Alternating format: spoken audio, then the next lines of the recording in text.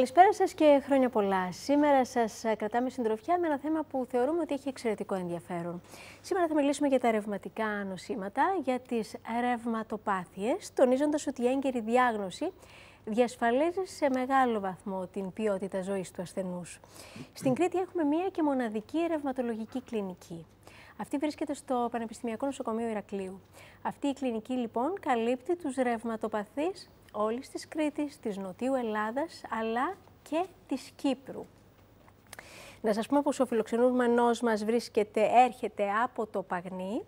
Είναι ο ρευματολόγος Γιάννης Καλιτσάκης. Ευχαριστούμε πολύ για την παρουσία σας. Καλησπέρα, καλώς σας βρήκα. Είστε χανιώτης, χρόνια πολλά και σε εσάς, αλλά αυτό τον καιρό εργάζεστε στο Παγνί, στη ρευματολογική κλινική. Έτσι κι αλλιώς νομίζω ότι η ρευματολογική κλινική του Παγνί είναι μονόδρομος για εκείνους που έχουν διαγνώσει τη ρευματοπάθεια και που χρειάζονται θεραπεία. Και εκ των πραγμάτων συνεργάζεται και με χανιώτες που αποτελούν περίπου το ίμιση των ασθενών της κλινικής. Σήμερα θα έχουμε τη δυνατότητα να αναλύσουμε μύθους και πραγματικότητες βάζοντας τα πράγματα στην σωστή τους διάσταση και νομίζω ότι αυτό που είναι το κλειδί της κουβέντας μας είναι στο να αρχίσουμε να κάνουμε έγκαιρη διάγνωση, να μην χάνουν πολύτιμο χρόνο οι ασθενείς. Να μην δηλαδή ε, παρασύρονται από τους πόνους τους, από τα συμπτώματα, καταφεύγουν και μένουν στον ορθοπαιδικό, καταφεύγουν και μένουν στον παθολόγο ε, ή σε άλλες έτσι, ειδικότητες, γιατί οι αλλοιώσεις που στο μεταξύ ε, θα υποστούν είναι μη αναστρέψιμες. Και αυτό νομίζω ότι πέρα από τον πόνο είναι κάτι το οποίο θα μπορούσαν να γλιτώσουν. Είναι σημαντικό να μιλήσουμε για τη συμπτωματολογία. Να τα αναγνωρίσουν οι άνθρωποι αν και εφόσον ε, βλέπουν, να αναγνωρίζουν τέτοια σημάδια και να πάρουν σωστή θεραπεία και να αναζητήσουν ρευματολόγους. Και να σας ε, πούμε, φίλοι τηλεθεατές, πως φιλοξενούμε από την εκπομπή της ε, Κατερίνας Πολύζου Αντιρρήσεις αποσπάσματα από ένα πολύ ενδιαφέρον οδηπορικό που είχε κάνει στη ρευματολογική κλινική του Παγνή είχε μιλήσει εκεί με ασθενείς και εμείς έχουμε τη δυνατότητα να φιλοξενήσουμε έτσι αποσπάσματα από αυτές τις συνεντεύξεις που έχουν πάρα πάρα πολύ ενδιαφέρον. Βεβαίως και σήμερα η εκπομπή μας είναι ζωντανή. Έχει, έχετε τη δυνατότητα να επικοινωνήσετε μαζί μας. 2821-036-744, απευθείας επικοινωνία. Η συνάδελφος Ευαγγελία Ξηρουχάκη βρίσκεται στην τηλεφωνική γραμμή και μέσω SMS μπορείτε να μας στείλετε τις ερωτήσεις σας. Δείτε με ποιο τρόπο.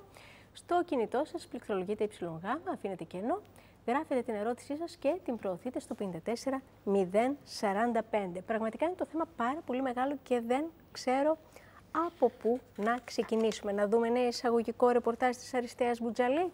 Μας βάζει στο θέμα δυναμικά. Για πάμε. Ρευματικέ παθήσεις είναι οι μη τραυματικές παθήσεις του μυοσκελετικού συστήματος, δηλαδή των αρθρώσεων, των τενόντων, των μύων, των οστών και της σπονδυλική στήλης, ενώ μετρούν πολλές διαφορετικές μορφές, περίπου 200. Αρκετές παθήσεις, όπως παραδείγματος χάρη οι αυτοάνωσες, προσβάλλουν και άλλα όργανα όπως η καρδιά, η νεφρή, τα μάτια, οι πνεύμονες, τα αγκία, τα νεύρα και άλλα. Κύριο σύμπτωμά τους είναι ο πόνος στο μυοσκελετικό σύστημα που ανάλογα με την πάθηση μπορεί να αφορά αρθρώσεις, τένοντες, ορογόνους θυλάκους, μυς, οστά, τη μέση ή τον αφιένα. Ο ρευματολόγος είναι γιατρός που ασχολείται με την παθολογία του μυοσκελετικού συστήματος. Ασχολείται με την πρόληψη, τη διάγνωση, τη θεραπεία και την αποκατάσταση της αρθρίτιδας και των ρευματικών παθήσεων. Αυτό που μου κάνει πολύ μεγάλη εντύπωση και που πρώτη φορά το συνειδητοποίησα έτσι προετοιμαζόμενοι για το θέμα και δεν ξέρω αν το έχουν συνειδητοποιήσει πολλοί από εμάς, είναι ότι τα ρευματικά νοσήματα πλήττουν ζωτικά μας όργανα. Δεν ξέρω πόσοι πραγματικά το έχουμε καταλάβει και πόσοι ε, συνειδητοποιούμε τι μπορεί να σημαίνει αυτό. Γιατί αν αυτό σημαίνει, ε, συμβαίνει και είναι έτσι, τα ρευματικά νοσήματα ίσως να είναι και θανατηφόρα. Ωραία, πριν ξεκινήσουμε και φτάσουμε σε αυτό το σημείο, εγώ θα ήθελα αρχικά να δώσω ένα, ένα σκελετό, ένα ορισμό τι είναι ρευματοπάθεια, ναι. σαν κατηγορίες νοσημάτων, για να μπορεί κανείς ε, να έχει στο μυαλό του γιατί πράγμα μιλάμε. Θα τις χώριζα καταρχήν σε δύο μεγάλες κατηγορίες. Τα εκφυλιστικά νοσήματα, με κύριο εκπρόσωπό της την οστεοαρθρίτιδα, ναι. και ε, τα αυτοάνοσα νοσήματα. τα αυτάγνωστα νοσήματα που ίσως και, ε, έχει το μεγαλύτερο ενδιαφέρον και γίνεται και πολλής λόγος τελευταία, που θα πρέπει να αναλύσουμε παρακάτω, είναι οι φλεγμονώδεις αρθρίτιδε με κύριο εκπρόσωπο τη ρευματοειδή αρθρίτιδα, την αγκυλωτική σπονδυλαρθρίτιδα, την ψωριασική αρθρίτιδα, τις κρυσταλλογενεί αρθρίτιδες. Και σε δεύτερο λόγο, ε, ίσως λίγο πιο σπάνια αλλά πάρα πολύ σημαντικά, και ίσως είναι αυτά τα νοσήματα που πλήττουν περισσότερο και τα ζωτικά όργανα, τα νοσήματα του συνδετικού ιστού με κύριο εκπρόσωπο το συστηματικό ερυθματόδη λύκο, το σκληρόδερμα, την φλεγμονώδη μειοσίτιδα και άλλα. Ε, Φτάνοντας στο κομμάτι των ε, ζωτικών ε, οργάνων, θα πρέπει κανείς να ξεκινήσει και να αναγνωρίσει, να δει το κλινικό σύνδρομο που θα πρέπει να οδηγήσει τον ε, γιατρό που εξετάζει τον ασθενή, τον ασθενή του ότι υπάρχει μια ρευματοπάθεια. Ε, το κλινικό σύνδρομο συνήθως λοιπόν ξεκινάει με αρθραλγίες. Είναι το πιο κλασικό. Αρθραλγίες, προενίδειες, καμψία, πονάνε τα χέρια. Νιώθει κόποση, ε, πυρετό κάποιες φορές δεκατική πυρετική κίνηση. να το θεωρεί ε, Λογικό. Λογικό. Λόγω του ότι ε, μεγάλωσα έτσι και αφού πρέπει μιλά, να είναι. Και επειδή μιλάμε για την Κρήτη, η οποία είναι μια κατεξοχήν περιοχή αγροτική. αγροτική Ήταν ε, τουλάχιστον. Δεν ξέρω. Ε, ελπίζω να ξαναγίνει. Ε, οι άνθρωποι δεν έχουν μάθει ότι ο πόνος είναι κάτι φυσιολογικό να συμβαίνει.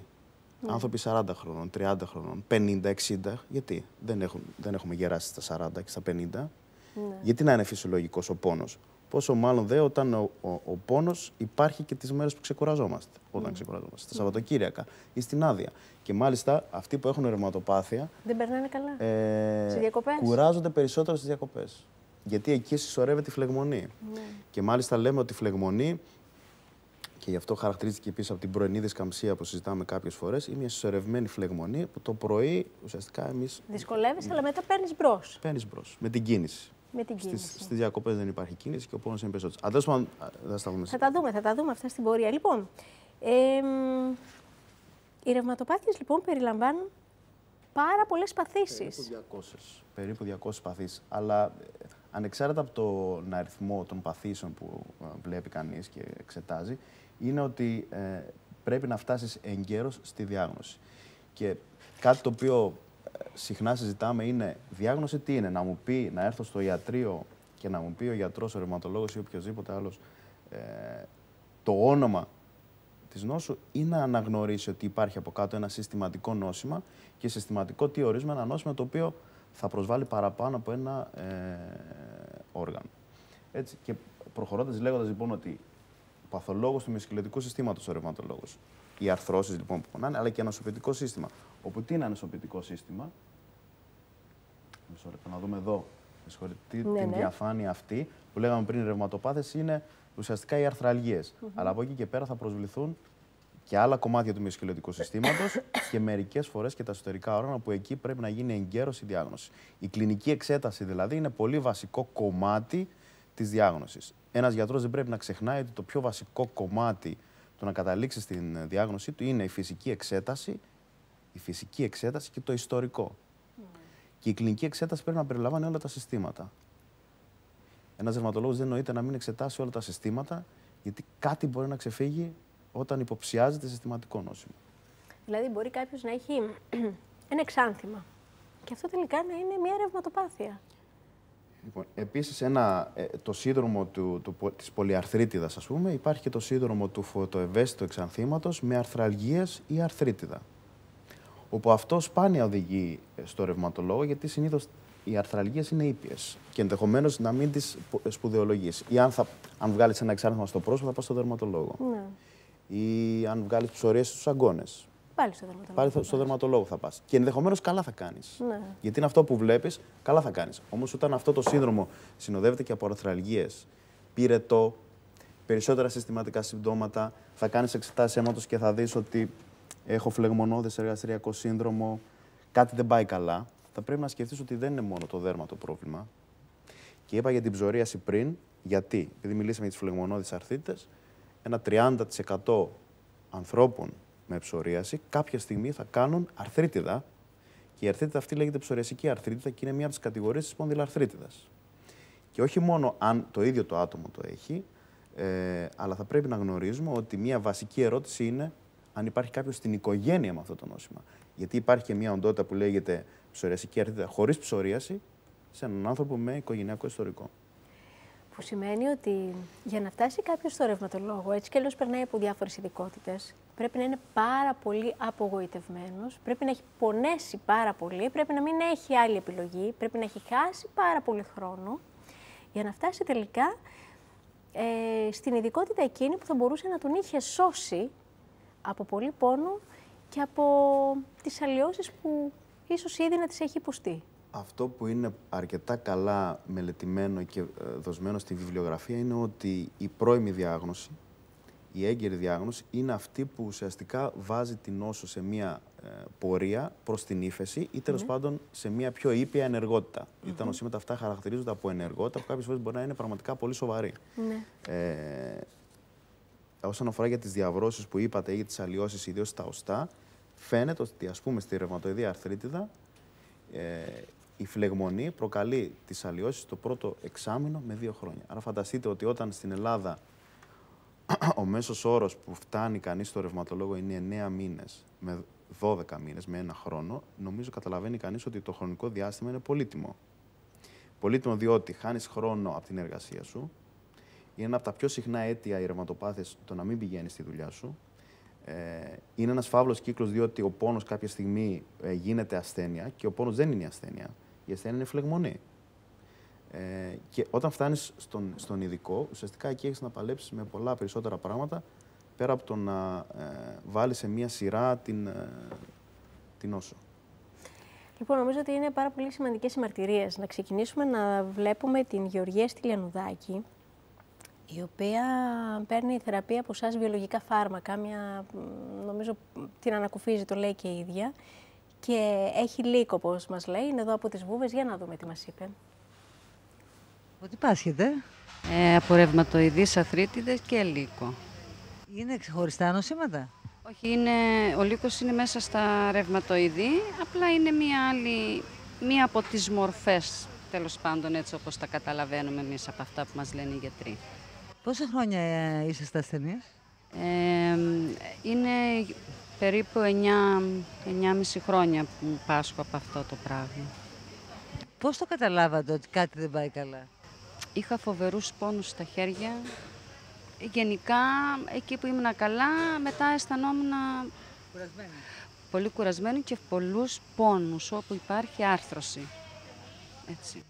Και πήγατε, φαντάζομαι, στον παθολόγο σας; Βασικά ξημερωνόμουν στο νοσοκομείο Χανίων, μετά από εκεί με ψάξανε με μια εξέταση, με βοήθησε και από εκεί μέσα ένας συγγενής που έχω και άρχισα από ρευματολόγους, από Χανιά και έρχομαι Ηράκλειο.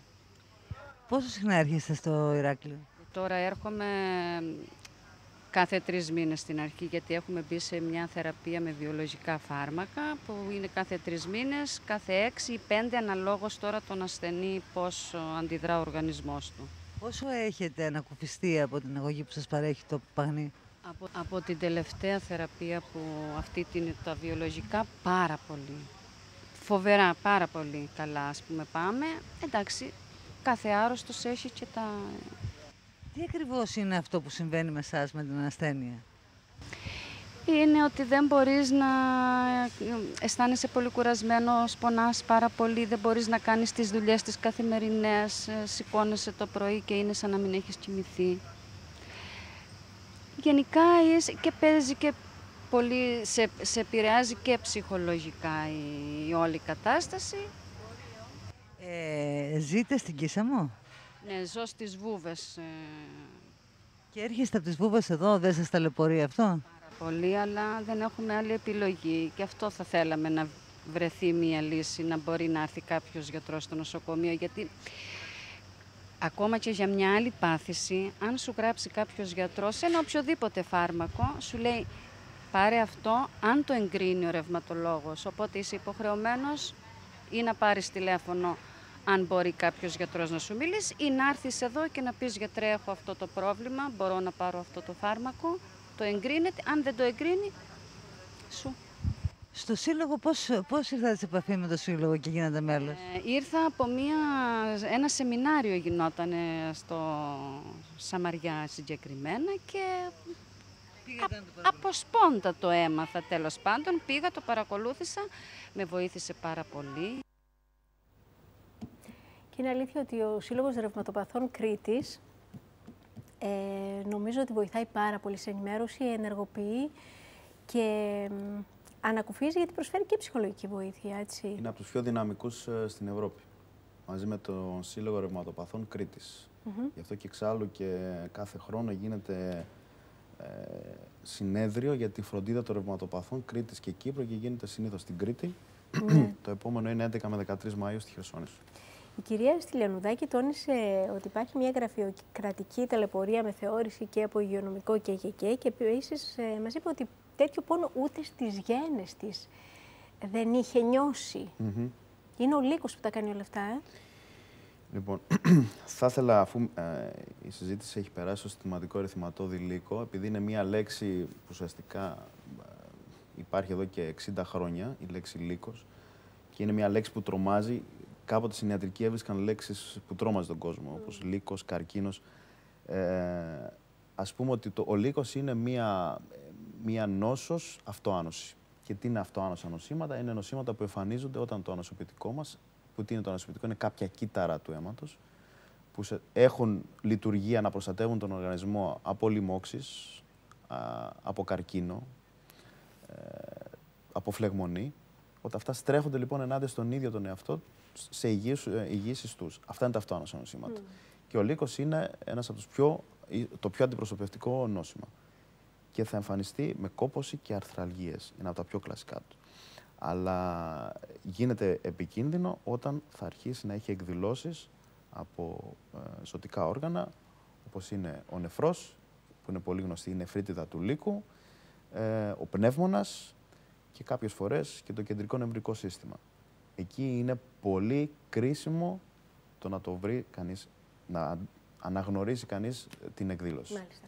Μου λένε από το κοντρόλ και θέλω να σας το μεταφέρω. Μου λέει η Ευαγγελία Ξηρουχάκη για την, ε, κυρι- ε, την τηλεθεάτρια που πήρε πριν από λίγο τηλέφωνο και της είπαμε ότι θα την πάρουμε εμείς. Μας έδωσε λάθος νούμερο. Ας προσπαθήσει ξανά. Έτσι, για εσάς που πήρατε τηλέφωνο και σας είπαμε ότι θα σας καλέσουμε, προσπαθούμε, δεν τα καταφέρνουμε, λάθος νούμερο δώσατε, ξανακαλέστε μας. Ε, να προχωρήσουμε λοιπόν. Τελικά τα αυτοάνωσα αυτά νοσήματα προσβάλλουν μεγάλο βαθμό του γενικού πληθυσμού, έτσι. Αναφερόμαστε στο 5 έως 8% του γενικού πληθυσμού. Ναι, κάπου εκεί. Μεγάλο ποσοστό. Είναι μεγάλο ποσοστό και αν σκεφτεί κανείς ότι σε μετρήσεις που έχουν γίνει στις ΗΠΑ, ίσως είναι η δεύτερη αιτία εισαγωγής σε μια παθολογική κλινική. Που πρώτη μάλλον είναι οι λοιμώξεις. Έτσι. Ναι. Άρα είναι μεγάλο το ποσοστό. Και ε, γίνεται μεγαλύτερο όταν ε, κανείς βλέπει ότι δεν χρειάζεται να είναι πάρα πολύ σοβαρή εκδήλωση. Είναι πολύ συχνή η κουβέντα και με συναδέλφους άλλων ειδικοτήτων για το τι εικόνα έχουν για ε, τα νοσήματα αυτά. Δεν χρειάζεται δηλαδή η ρευματοειδής αρθρίτης να φτάσει στο στάδιο της παραμόρφωσης για να πούμε ότι έχει κανείς ρευματοειδή αρθρίτης. Και αυτό είναι ένας, απ- ένα από τα, τα κέρδη της ρευματολογίας, να το πω έτσι, από, από τις κατακτήσεις, διότι έχουμε αλλάξει τα κριτήρια τα τελευταία χρόνια. Άλλα κριτήρια είχε η ρευματοειδής αρθρίτη το 1987, άλλα το 2010. Και αυτό για ποιο λόγο έχει γίνει, για την πρώιμη διάγνωση Ναι. και ε, για να μπει κανείς στη θεραπεία πιο γρήγορα και πιο επιθετικά. Γιατί είπαμε και πριν ότι η πρώιμη διάγνωση και η επιθετική θεραπεία είναι αυτή που κατά πάσα πιθανότητα θα βάλει το νόσημα σε ύφεση ή σε μερική ύφεση και θα βελτιώσει την λειτουργικότητα, θα κερδίσουμε τις αρθρώσεις και άρα ο- ο ασθενής θα είναι ε, πιο χρήσιμος και για τον εαυτό του και για την οικογένειά του και για το κοινωνικό σύνολο. Αυτός είναι ο σκοπός. Εξάλλου, Όλα αυτά καλά στην περίπτωση που μιλάμε για ρευματολόγους και που ο ασθενής φτάσει στο ρευματολόγο. Το θέμα είναι αν ε, οι άλλες ειδικότητες αναγνωρίσουν και παραπέμψουν στο ρευματολόγο. Ε; αυτό το θεωρώ Δηλαδή, αν ο παθολόγος αναγνωρίσει και παραπέμψει. Και μιλώ και για τον νοσοκομιακό Μα παθολόγο. η ρευματολογία είναι η υποδικότητα της παθολογίας. Και είπαμε ότι ο ρευματολόγος είναι παθολόγος του μυοσκελετικού και του ανοσοποιητικού συστήματος. Ναι. Και είναι και Των πολύ- αυτοάνωσων νοσημάτων. Και πολύ καινούρια επιστήμη, πολύ καινούρια ειδικότητα. Είναι καινούρια με την έννοια ότι τα τελευταία χρόνια έχει γίνει ε, περισσότερη έρευνα πάνω σε αυτά τα νοσηματα ώστε να μάθουμε την παθογένειά τους. Και είπαμε πριν για τα εκφυλιστικά νοσήματα και τα φλεγμονώδη νοσήματα, γιατί είναι τελείως διαφορετική η, η παθογένεια, άρα και η θεραπεία. Τα εκφυλιστικά ενδεχομένως να προκαλούν πόνο, έκτος της λειτουργικότητας, γι' αυτό είπαμε πριν, ο πόνος είναι το πιο σημαντικό. Όχι, δεν είναι ο πόνος. Ο πόνος είναι για τον ασθενή. Ναι, πρέπει να τον ανακουφίσεις, αλλά πρέπει να δεις και να μειώσεις την φλεγμονή. Ναι. Και τι είναι φλεγμονή, είναι όλα αυτά τα κύτταρα του οργανισμού που θα αποφασίσουν κάποια στιγμή για κάποιους λόγους. Έχουμε πει, είπαμε πριν ε, για την κληρονομικότητα, για τη ρευματοειδή αρθρίτιδα έχει δειχτεί πάρα πολύ καλά, κυρίως από τη Σουηδία, ότι το κάπνισμα είναι που προκαλεί ε, αρθρίτιδα Ναι. και ε, το περιβάλλον. Το περιβάλλον μπορεί να είναι είτε το εξωτερικό είτε το εσωτερικό περιβάλλον. Το περιβάλλον πώς; Το περιβάλλον με τη μόνηση, ας πούμε, του περιβάλλοντος. Κάποια νοσήματα που ε, η γενετική, δυτικός τρόπος ναι, ζωής. η γενετική προδιάθεση ενδεχομένως να υπάρχει. Ένα κληρονομικό. Αλλά αυτό που λέμε ότι αυτά τα νοσήματα έχουν ένα χτύπημα πρώτο, το οποίο το πρώτο χτύπημα είναι η γενετική προδιάθεση. Ναι. Το δεύτερο χτύπημα μπορεί να είναι ε, μία λίμωξη, ένα μικρόβιο το οποίο θα μπει στον οργανισμό, θα απασχολήσει το ανασωπητικό και στην αποδρομή του οι απώλειες της, αυτής της μάχης του ανασωπητικού να είναι να εκδηλωθεί ένα αυτοάνωσο νόσημα. Μάλιστα. Γιατί είναι, ε, πολύ συχνά να μας ρωτάνε, μα τι, τι μου το προκάλεσε αυτό; Με θυμό. Συνήθως. Ναι. Ε, λοιπόν, έχουμε μια φίλη τηλεθεάτρια στη γραμμή. Θέλει να μας μιλήσει. Καλησπέρα σας. Καλησπέρα. Πείτε μας. Ε, εγώ, καλησπέρα γιατρέ. Έχω ένα Καλησπέρα. πρόβλημα που Χριστός Ανέστη. τώρα μου είπαν ότι πρέπει να έρχομαι, να πάω σε ρευματολόγο. Δεν ακούω καλά. Είναι κοντά δύο χρόνια που άρχισαν να παραλύουν τα χέρια μου. Ναι. Ε, πήγα σε νευρολόγο, στην αρχή μου έλεγε ψυχολογικά. Με έχουν δώσει ένα σωρό φάρμακα τα οποία μου κάνουν κακό και τα κόβω. Ενώ δεν, έχουν α- σίγουρα, δεν είναι σίγουρη ότι έχω πάρκισον, παίρνω παρκισονικά φάρμακα και τα χέρια μου παραλύουν. Το δεξί μου χέρι έχει παραλύσει τελείως. Ε, δεν μπορώ να φάω, δεν μπορώ να πιθώ. Και μου ζήτησαν τώρα να έρθω σε ρευματολόγο. Ε, Έχω εντωμεταξύ άλλο ένα αυτοάνωσο, έχω χιλιοκάκι. Και έχω κληρονομικότητα από τη μητέρα μου πέσει Γιόγκρεν. Ε, Μάλιστα. υπάρχει περίπτωση να είναι και αυτό κάποιο ρευματοειδή ή κάποιο αυτοάνωσο. Θα σας εξηγήσω, θα σας πω. Το οικ- οικογενειακό ιστορικό είναι πολύ σημαντικό το να ε, πει σε κάποιον άνθρωπο ότι πρέπει να δει για αυτοάνωσο νόσημα. Έχετε ήδη ένα αυτοάνωσο νόσημα και πάρα πολύ συχνά λέμε ότι ένα μπορεί να συνοδεύεται και από ένα δεύτερο. Όπω είναι η θεωρητήτα χασιμότητα, ας πούμε. Ναι. Έχω Ε, και η τα κοιλοκάκη στην είναι αυτοάνωσο οικογένεια, νόσημα. Απλά εγώ δεν έχω. Είναι ένα αυτοάνωσο νόσημα. Το σύνδρομο του Σιόγκρεν είναι από αυτά που είπαμε πριν το νο, συ- ε, νόσημα συνδετικού ιστού. Ένα ξαδερφάκι του συστηματικού λύκου, ας πούμε, που ουσιαστικά χαρακτηρίζεται από ξηρότητα ε, βλενογόνων, οφθαλμών, ε, στοματικής κοιλότητας, ανώτερου αναπνευστικού, κατώτερου αναπνευστικού. Συνοδεύεται, είναι, είναι δυσάρεστο και από αρθραλγίες. Εγώ θα σας έλεγα ότι, χωρίς να σας έχω δίπλα μου, ότι οι αρθραλγίες που έχετε, Δεν προφανώς έχω πόνους θα πρέπει στις αρθρώσεις. Πόνος στις Έχω αρθρώσεις πόνους με, από τον άγκωνα με μέχρι τον δισκαμψία. νόμο. Θα και πρέπει στα αν δύο μη τι χέρια και άλλο να παγώνουν τα αποκλειστεί. χέρια μου. Δεν σας λέω τι έχετε, Ναι. δεν μπορώ να πω αυτό το πράγμα το τηλέφωνο. Αλλά αν μη τι άλλο θα πρέπει να αποκλειστεί γιατί το έχετε καιρό, Ναι. έχετε αυτοάνωσο προφίλ και περιβάλλον που είναι σημαντικό για να βάλει κανείς μία διάγνωση και αν μη τι άλλο επειδή ταλαιπωρήσετε θα πρέπει κάπως να φτάσετε σε ένα ρευματολόγο. Μάλιστα. Οι αρθραλγίες, το είπαμε και πριν, είναι ένα σύμπτωμα το οποίο θα πρέπει να το αναγνωρίσουμε και να φτάσουμε γρήγορα στο γιατρό και αν γίνεται να έχουμε και έγκαιρη διάγνωση. Το είπαμε, μπορεί να γίνουμε κουραστικοί να το λέμε, αλλά Ευχαριστούμε πολύ για τη συμμετοχή σας. Ευχαριστούμε. Πάρα πολύ. Περαστικά σας.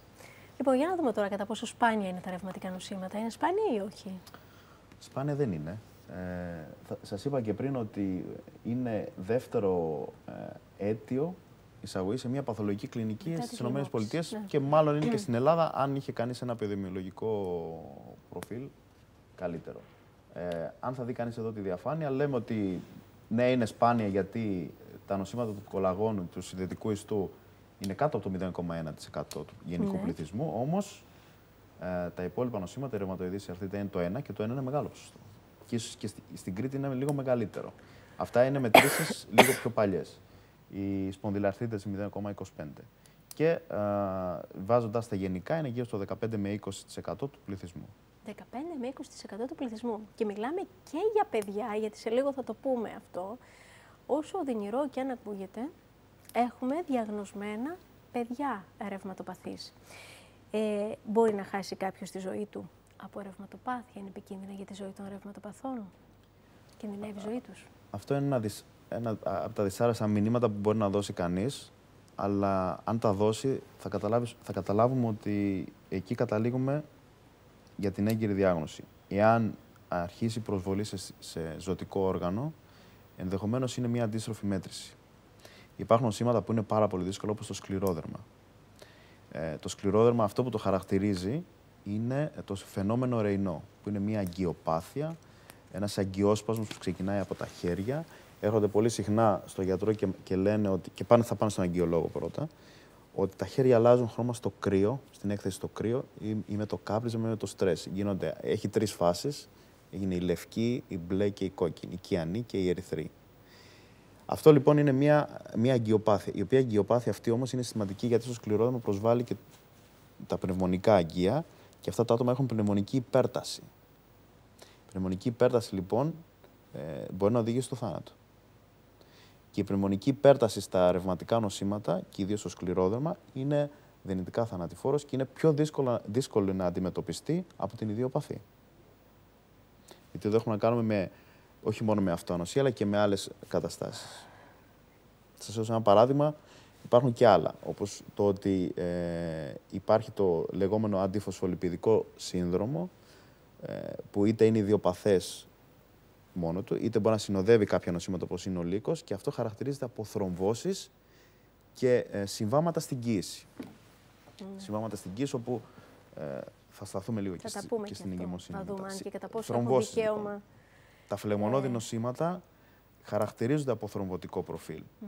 Ένας άνθρωπος με, με φλεγμονώδες νόσημα, όπως είναι η ρευματοειδή, ο λύκος ή η δερματομιοσίτιδα, έχει μια προ- αυξημένη προδιάθεση σε σχέση με αυτόν που δεν έχει ένα τέτοιο νόσημα για να κάνει πνευμονική εμβολή ή να το βάλει φλεβική θρόμβωση. Μάλιστα, ακόμα μία τηλεφωνική γραμμή. Καλησπέρα σας. Καλησπέρα σας. Ναι, Καλησπέρα σας. Πείτε μας. καλησπέρα. Καλησπέρα, χρόνια πολλά. Επίσης, ε, να σας ρωτήσω κάτι. Έχω ε, από ένα κάταγμα στο πόδι, βέβαια ήταν πάρα πολύ δυνατό. Ο, π- τυραννιούμουν έξι μήνες στο νοσοκομείο. Είχα κάνει, Είπατε κάταγμα στο πόδι. Μετά έκανα μία τρόδοση, η οποία τώρα με έχει επηρεάσει. Δεν μπορώ να ανεβαίνω σκάλα, δεν μπορώ να ανεβαίνω ανήφορο. Όμως έχει επηρεάσει στη μέση, γενικά ας πούμε, στη σπονδυλική στήλη από τη μέση και κάτω. Συγχωρείτε, το, το κάταγμα σε ποιο οστό ήταν; Ορίστε. Πού είχατε κάταγμα, σε ποιο οστό; Ε, στο Ναστράγαλο χαμηλά, αλλά ήταν κομμένος. Ποδοκλινικία. Κρατούσε μόνο το, το νεύρο και η αρτηρία. Και το κάταγμα αυτό ήταν μετά από πτώση. Ορίστε. Ήταν...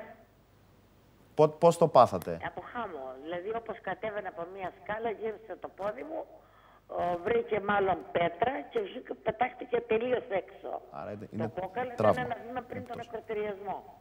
Ωραία. Ε, τώρα έχω κάνει ε, αξονική, η οποία δεν μου έδειξε πολλά πράγματα. Έκανα μία μαγνητική που μου δείχνει ε, ότι υπάρχουν πρόβλημα στους σπονδύλους. Μήπως υπάρχει ρευματι- τίποτα ρευματικό; Πόσο χρονών είστε; Είμαι 65. 65. Η περιγραφή των ε, συμπτωμάτων μάλλον μας οδηγεί σε εκφυλιστική σπονδυλαρθροπάθεια. Ορίστε. Εκφυλιστική σπονδυλαρθροπάθεια, δηλαδή μια ε, κατάσταση γύρανσης τη- της Ναι, σπονδυλικής δηλαδή, στήλης. ε, Με εκβιάζει πάρα πολύ. Αυτό που οφείλουμε πόδι να μου. ψάξουμε σε έναν άνθρωπο που έχει Ναι. μηχανικού τύπου οσφιαλγία, Ναι. χαμηλή οσφιαλγία, είναι να δούμε αν στην νευρολογική εξέταση που θα κάνουμε, αν δεν έχουμε σημεία μυελοπάθειας, πίεσης νεύρων, για να δούμε αν έχει νόημα να επέμβουμε στη σπονδυλική στήλη. Από εκεί και πέρα, ναι, είναι επώδυνη κατάσταση. Οφείλει κανείς να το αναγνωρίσει, να δώσει συντηρητικά μέτρα αντιμετώπισης όπως είναι η απώλεια βάρους στην κοιλιακή χώρα, ενδυνάμωσης στο, των μειών πέριξ της σπονδυλικής στήλης και από εκεί και πέρα φάρμακα για χρόνιο πόνο. Είναι σημαντικό και με αφορμή το λέω, με αφορμή την ε, κυρία που μας τηλεφωνεί, ότι Μάλλον μου είπε εμένα ο ορθοπαιδικός μου ότι πρέπει να είναι οστεοπόρος και οστεοπόρος μαζί. Ναι, ακούστε τι σας λέει εδώ ο γιατρός μας, αν θέλετε. Ναι, εγώ αυτό που λέω είναι ότι ε, για την οστεοπόρωση θα πρέπει να, γίνει κά... θα να γίνει ειδική εξέταση. Η οστεοπόρωση δεν πονάει, Ναι. δεν πονάει παρά μόνο, δεν, δεν έχουμε πόνο στην οστεοπόρωση, παρά μόνο όταν έχουμε κάταγμα. Ναι. Κάταγμα όμως χαμηλής ενέργειας. Όχι όταν πέσουμε να τραυματιστούμε. Όπως και να έχει όμως, είστε 65, να το διευκρινίσω. νομίζω είπατε είστε 65 ετών. Ναι, ναι. Ωραία. Όπως και να έχει, είστε στο όριο της ηλικίας όπου μια γυναίκα μεταεμινοπαυσιακή, χωρίς πρώιμη εμινόπαυση, πάμε τώρα στο κομμάτι της οστεοπόρωση, αλλά δεν πειράζει. Ναι, παρουσιάζει. Ε, θα πρέπει να ελεγχθεί για οστεοπόρωση. για οστεοπόρωση. Με μέτρηση οστικής μάζας. Μάλιστα. Αυτό. Ρευματοπάθεια με την έννοια της, του αυτοάνωσου νοσήματος, έτσι όπως περιγράφονται τα συμπτώματα, μάλλον είναι χαμηλή η πιθανότητα, αλλά ανεξάρτητα από αυτό, η αντιμετώπιση του πόνου είναι κάτι κρίσιμο για την κυρία αυτή, γιατί σίγουρα είναι λειτουργική και είναι νέα. Έτσι. Ναι. Ευχαριστούμε πολύ για τη συμμετοχή σας. Και Ευχαριστούμε. εγώ ευχαριστώ. Λοιπόν, έχουμε άλλη τηλεφωνική γραμμή. Θέλετε να περάσουμε σε διαφημίσεις, πείτε μου. Πάμε σε διαφημίσεις και επιστρέφουμε να δούμε αν τα παιδιά προσβάλλονται από ρευματικά νοσήματα και δυστυχώς προσβάλλονται και πώς γίνεται η διάγνωση των ρευματικών νοσημάτων. Πάμε διαφημίσεις.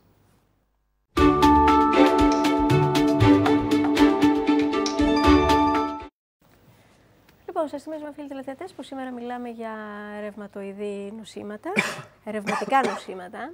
Σήμερα έχουμε στη συντροφιά μας καλεσμένο τον Γιάννη Καλιτσάκη, ο οποίος είναι ρευματολόγος. Μας έρχεται από την ρευματολογική κλινική του Πανεπιστημιακού Νοσοκομείου Ηρακλείου, τη μοναδική, είπαμε, που λειτουργεί σε επίπεδο Κρήτης, καλύπτει ανάγκες Νοτιού Ελλάδας και Κύπρου. Καταλαβαίνετε λοιπόν τι δουλειά υπάρχει εκεί και πόσα πολλά περιστατικά, 3.000 άτομα διαγνωσμένοι ρευματοπαθείς, είναι αλήθεια αυτό, Ναι, ίσως και λίγο παραπάνω. ίσως λίγο και παραπάνω. Και πάρα πολλοί Δεν κόσμος έχουμε ακόμα ενδιαφέρεται, τα, ανησυχεί. τα δεδομένα και- του 11 καλά και του 12. Μάλιστα.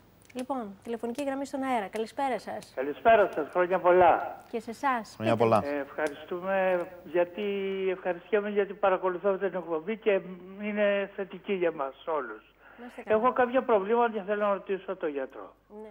Ε, συνήθως έχω γράμπες, έχω γράμπες στα χέρια και στα πόδια, όχι καθημερινά, αλλά ε, είναι έντονες, όταν με πιάνουν είναι έντονες, δεν μπορώ να πιάσω πυρούνι και μαχαίρι για να φάω. Ε, τα πόδια μου ε, όταν με πιάσουν στις γάμπες δεν μπορώ να σηκωθώ να περπατήσω. Βέβαια ε, Από έχει πότε προηγηθεί έχετε αυτά κάτι. τα συμπτώματα, Έχω με ακούτε; Κάνει, είχα καρκίνο στο πνεύμονα και έχω κάνει χειρουργείο. Έχω αφαιρέσει σχεδόν όλο τον αριστερό πνεύμονα.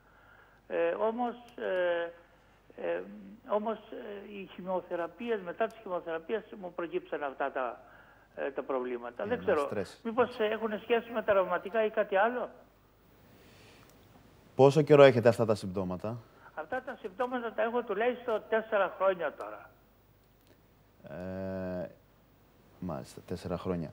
Και είναι κυρίως στα χέρια και, ή και στα πόδια. Και στα χέρια και στα πόδια.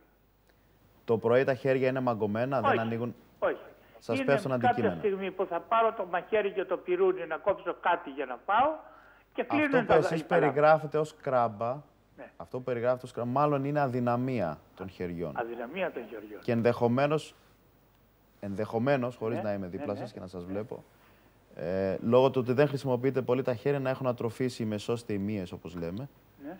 και να μην μπορούν να γίνουν οι λεπτές κινήσεις. Παρ' όλα αυτά, επειδή τα έχετε τουλάχιστον τέσσερα χρόνια, μένουν σταθερά από ό,τι ακούω. Δεν φαίνεται να είναι κάτι πολύ σοβαρό, αλλά όπως και να έχει, όπως και να έχει, από τη στιγμή που έχετε γιατρό από ό,τι ακούω, Ναι. που έχετε ένα σοβαρό πρόβλημα υγείας Ναι. και έχετε γιατρό, ο γιατρός σας θα πρέπει να αναγνωρίσει το σύνδρομο αυτό με, με την κλινική του εξέταση και να δει αν θα σας παραπέμψει ή όχι. Μάλιστα. Και πέρα Σε ρευματολόγο. σε ρευματολόγο. Εντάξει, σας Καταλάβατε; ευχαριστώ πάρα πολύ Να γιατρέ. είστε καλά, Έχω περαστικά όμως και σας. κα- ακόμα άλλο ένα προβληματάκι. Τα πόδια μου δεν έχουν αντοχή να σταματήσω, να κατέβω σκαλοπάτια κτλ. κτλ. Μάλιστα. Χρειάζομαι βοήθεια. Αυτό, ακούστε με λίγο, το Ναι. μόνο που μπορώ να πω είναι ότι το, πιθαν... το, το πιο συχνό αίτιο Ναι, ε, αδυναμίας στη βάδιση ναι. Σε ανθρώπους... Πόσο χρόνο είπατε ότι είστε; Είμαι 65 χρονών, έχουν περάσει 6 χρόνια από το χειρουργείο μου. Ένας άνθρωπος ταλαιπωρημένος δεν είναι ηλικιωμένος, αλλά είναι ταλαιπωρημένος. Είναι συνήθως η οστεαρθρίτιδα στα γόνατα Ναι. που προκαλεί ατροφία του τετρακεφάλου, άρα και αδυναμία στήριξης. Μάλιστα. Και δεν είναι το εγκεφαλικό επεισόδιο το πιο συχνό αίτιο πτώσης των ηλικιωμένων, αλλά η οστεαρθρίτιδα στα γόνατα. Μάλιστα. Μάλιστα. Η οστεαρθρίτιδα στα γόνατα. Γιατί δεν χρησιμοποιούν καλά τα πόδια τους, δεν περπατούν, ατροφούν. Ενδεχομένως να προστίθεται και μία έλλειψη βιταμίνη D επειδή δεν βγαίνουν και πολύ στον ήλιο. Και όλο αυτό μαζί το πακέτο δίνει ε, αυτά τα συμπτώματα. Αλλά Περαστικά σας ευχόμαστε. Εντάξει, γιατρέ σας Περαστικά. υπέρ ευχαριστώ και ευχαριστώ και το σταθμό. Να είστε Εντάξει, καλά. καλό Γεια βράδυ, σας, γεια. γεια σας. Λοιπόν, ε, σύντομες απαντήσεις σε ερωτήσεις που μας έχουν έρθει στο στούντιο. Ε, μία φίλη τηλεθεάτρια έχει ρευματοειδή αρθρίτιδα διαγνωσμένη και ρωτάει τι να μην τρώει. Μάλιστα. Υπάρχει διαιτολόγιο ειδικό, Λοιπόν, ιδιαίτερο. Ζούμε στην Κρήτη. Αν μη τι άλλο, η κριτική διατροφή είναι η ενδεδεγμένη ε, θερα- ε, με συγχωρείτε, διατροφή σε ρευματοπάθεια. Και όχι μόνο σε ρευματοπάθεια. Δεν, δεν θα έλεγα δηλαδή ότι πρέπει να, σ- να α, α, ακολουθήσει συγκεκριμένο διαιτολόγιο. συγκεκριμένο διαιτολόγιο. Μεσογειακή, Ναι. λοιπόν. Τι θα πρέπει να δίαιτα. αποφεύγει αυτό που λέγεται ε, φαγητό ε, Λιπαρό. fast food, ε, Ναι, το ναι. jungle food που λένε. Ναι, ναι. Αυτό θα το διαρροπάλου μάλλον. Και εννοείται όχι Τα τσιγάρο, λιπαρά, όχι αλκοόλ. ε, το κάπνισμα είπαμε για το κάπνισμα. Όπως και να έχει το κάπνισμα, ε, πέρα από το ότι Επιδεινώνει. γεννάει, μπορεί και να απενεργοποιεί κάποια από τα φάρμακα που χρησιμοποιούμε, ε, όπως και να έχει. Και ε, επειδή κάνουμε τη συζήτηση, θα πρέπει να μιλήσουμε και για τον καρδιακιακό κίνδυνο στα ρευματικά νοσήματα, μια σύντομη παρένθεση και να πω ότι ε, οι ασθενείς που έχουν ρευματοειδή αρθρίτιδα, και αυτό το έχουν δείξει αρκετές μελέτες, ε, εάν ένας άνθρωπος που έχει ζαχαρόδι διαβήτη, ο κίνδυνος στη δεκαετία να πάθει έμφραμα του μυοκαρδίου είναι 2, σχετικός κίνδυνος, με έναν που δεν έχει. Ένας που έχει ρευματοειδή αρθρίτιδα, ο σχετικός κίνδυνος είναι 1,9. Άρα δηλαδή η φλεγμονή που προκαλεί η ρευματοειδής αρθρίτιδα, σε, σ- συγκριτικά με τον ζαχαρόδι διαβήτη, είναι ισοδύναμες. Μάλιστα. Και Λοιπόν, ο πιο ακόμα- συχνό αίτιο θανάτου ενό ασθενή με ρευματοειδή αρθρίτιδα είναι καρδιαγγειακό σύμβαμα. Προσοχή λοιπόν. Σε επίπεδο νοσοκομιακό, εδώ στα Χανιά, υπάρχει περίπτωση να δούμε κάποια στιγμή ρευματολόγο, ρωτάνε. Δεν είμαι ο πιο αρμόδιος να απαντήσω σε αυτό το Α, ερώτημα. γνωρίζετε. Γνωρίζω ότι έχουν γίνει αρκετές. Γι' αυτό και το, το ρεπορτάζ της κυρίας Πολύζου ήταν σε αυτή την κατεύθυνση από ό,τι θυμάμαι. Το Ναι, οποίο ναι. αυτό το ρεπορτάζ ήταν τον Ιούλιο. Ιούνιο, Έγινε πώς τον, θέλεις. το καλοκαίρι και προβλήθηκε. Οι εποχές είναι Οκτώβρη. δύσκολες. Οι, οι γιατροί στο Πανεπιστημιακό Νοσοκομείο στη ρευματολογική κλινική αντί να αυξάνονται, μάλλον μειώνονται, ή τέλος πάντων μένουν σταθεροί. Άρα είναι δύσκολο να καλυφθούν οι ανάγκες του, του Πανεπιστημιακού Νοσοκομείου. Πόσο μάλιστα να φιλοξενηθεί κάποιος γιατρός από την κλινική στο νοσοκομείο. Παρ' όλα αυτά, έχουν γίνει κάποιες κινήσεις και συζητήσεις. Θα το δούμε σε βάθος χρόνου. Για την ώρα δεν υπάρχει κάτι δεδομένο. Μάλιστα. Λοιπόν, ε, μία φίλη μας μας λέει ότι έχει ψωριακή αθρίτιδα, Ψωριασκή. ψωριαστική. Ναι. Και; Δεν ρωτάει.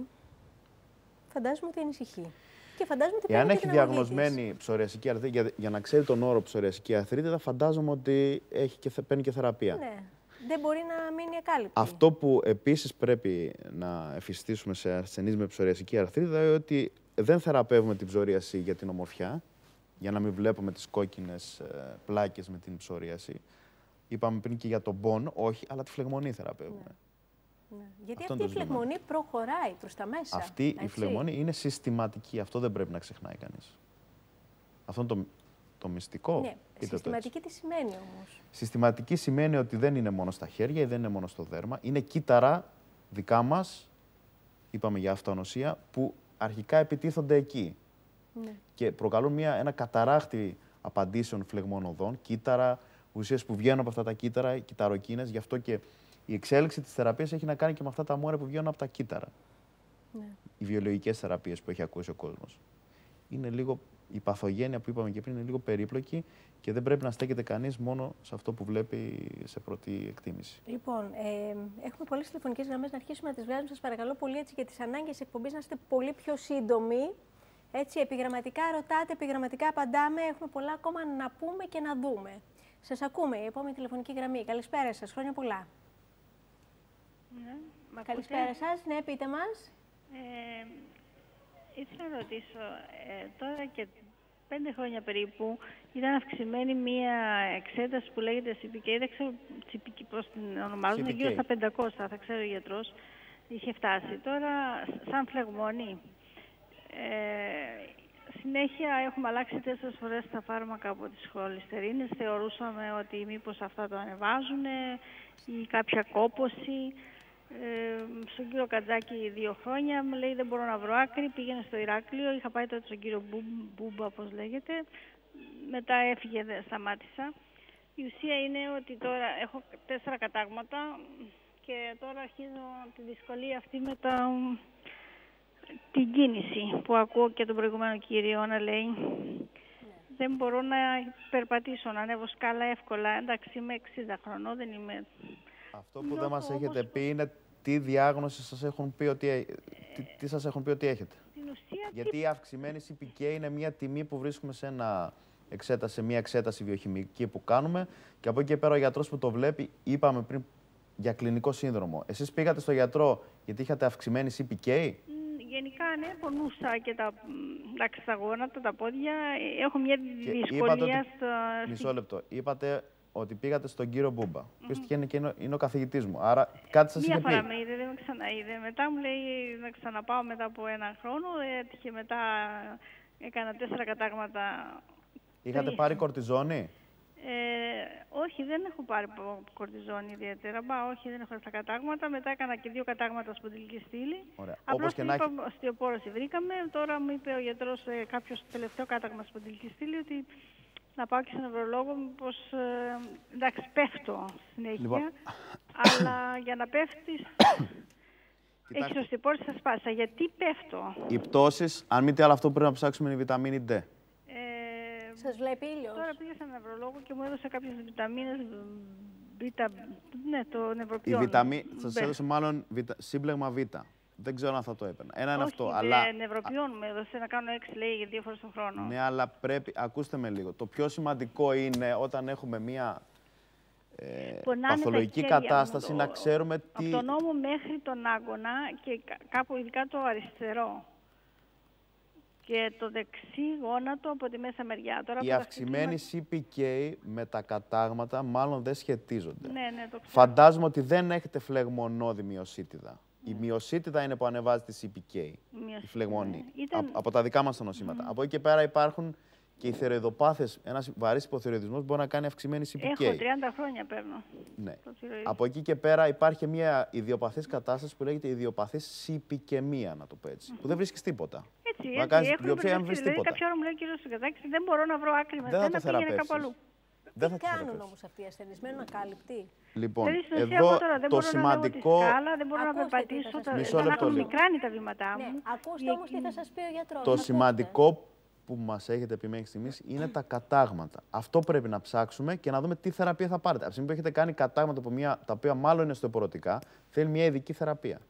Και συνήθως αυτή η θεραπεία, η καινούρια που, για, σε ένα ασθενή που έχει κάνει κατάγματα, είναι η λεγόμενη τεριπαρατίδη, που είναι μια ε, παραθορμόνη, έτσι λέγεται, η οποία ουσιαστικά βοηθάει το, την επούλωση του κατάγματος και, και το να, μην, να προλάβει και δεύτερο κάταγμα. Γιατί ένα 30% των γυναικών που κάνουν πρώτο, κάνουν και δεύτερο. Ναι, ναι. Ένα χρόνο Μετά- τρία κατάγματα. Ένα στο Έκανε. πόδι, δύο στο πόδι και δύο στη σπονδυλική Άρα στήλη. το πρόβλημα δεν είναι η CPK, το πρόβλημα είναι γιατί κάνετε κατάγματα. Αυτό θα πρέπει να γιατί δείτε. πέφτει, γιατί και γιατί πέφτει.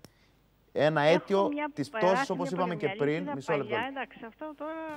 Ένα αίτιο της πτώσης μπορεί να είναι η οστεοαρθρίτιδα στα γόνατα ή στα ισχύα. Ένας άλλος λόγος που δεν στηρίζεται καλά ο οργανισμός μπορεί να είναι η στένωση του σπονδυλικού σωλήνα. Αλλά όλα αυτά θέλουν μια κλινική εξέταση να αναγνωρίσουμε, να δούμε. Σε Τι ποιο γίνεται; γιατρό όμως πρέπει να πάει εκεί, σε τι ειδικότητα, γιατί Γιατί είναι διαιρε- τόσα πολλά όλα αυτά. Εδώ και θέλει... νομίζω ότι αυτό είναι το αδιέξοδο του ασθενή τελικά, που δεν ξέρει πού Ναι. να πάει. Κάποιες φορές οστεοπορατικά κατάγματα συνοδεύουν αιματολογικά νοσήματα, όπως είναι το πολλαπλό μυέλωμα. Αλλά για να μην κάνουμε εδώ μάθημα παθολογίας, Ναι, θα, όχι, πρέπει, μια συμβουλή να δώσουμε. θα πρέπει η Σε ποια συμβουλή να είναι ειδικότητα. να πάει σε. Θα, εγώ θα έλεγα σε ένα ρευματολόγο, όχι επειδή εγώ είμαι ρευματολόγος. Αλλά θα έλεγα τουλάχιστον για να δώσουμε τον έλεγχο, το βασικό που χρειάζεται σε μια γυναίκα η οποία κάνει πολλαπλά, πολλαπλές, έχει πολλαπλές πτώσεις και κατάγματα. Μάλιστα. Λοιπόν, περαστικά σας Και, και ευχόμαστε. η κίνηση με έχει πο- πολύ τρομάξει. Δηλαδή δεν μπορώ να κινηθώ, δεν μπορώ να περπατήσω. Το ένα είναι συνέπεια του άλλου.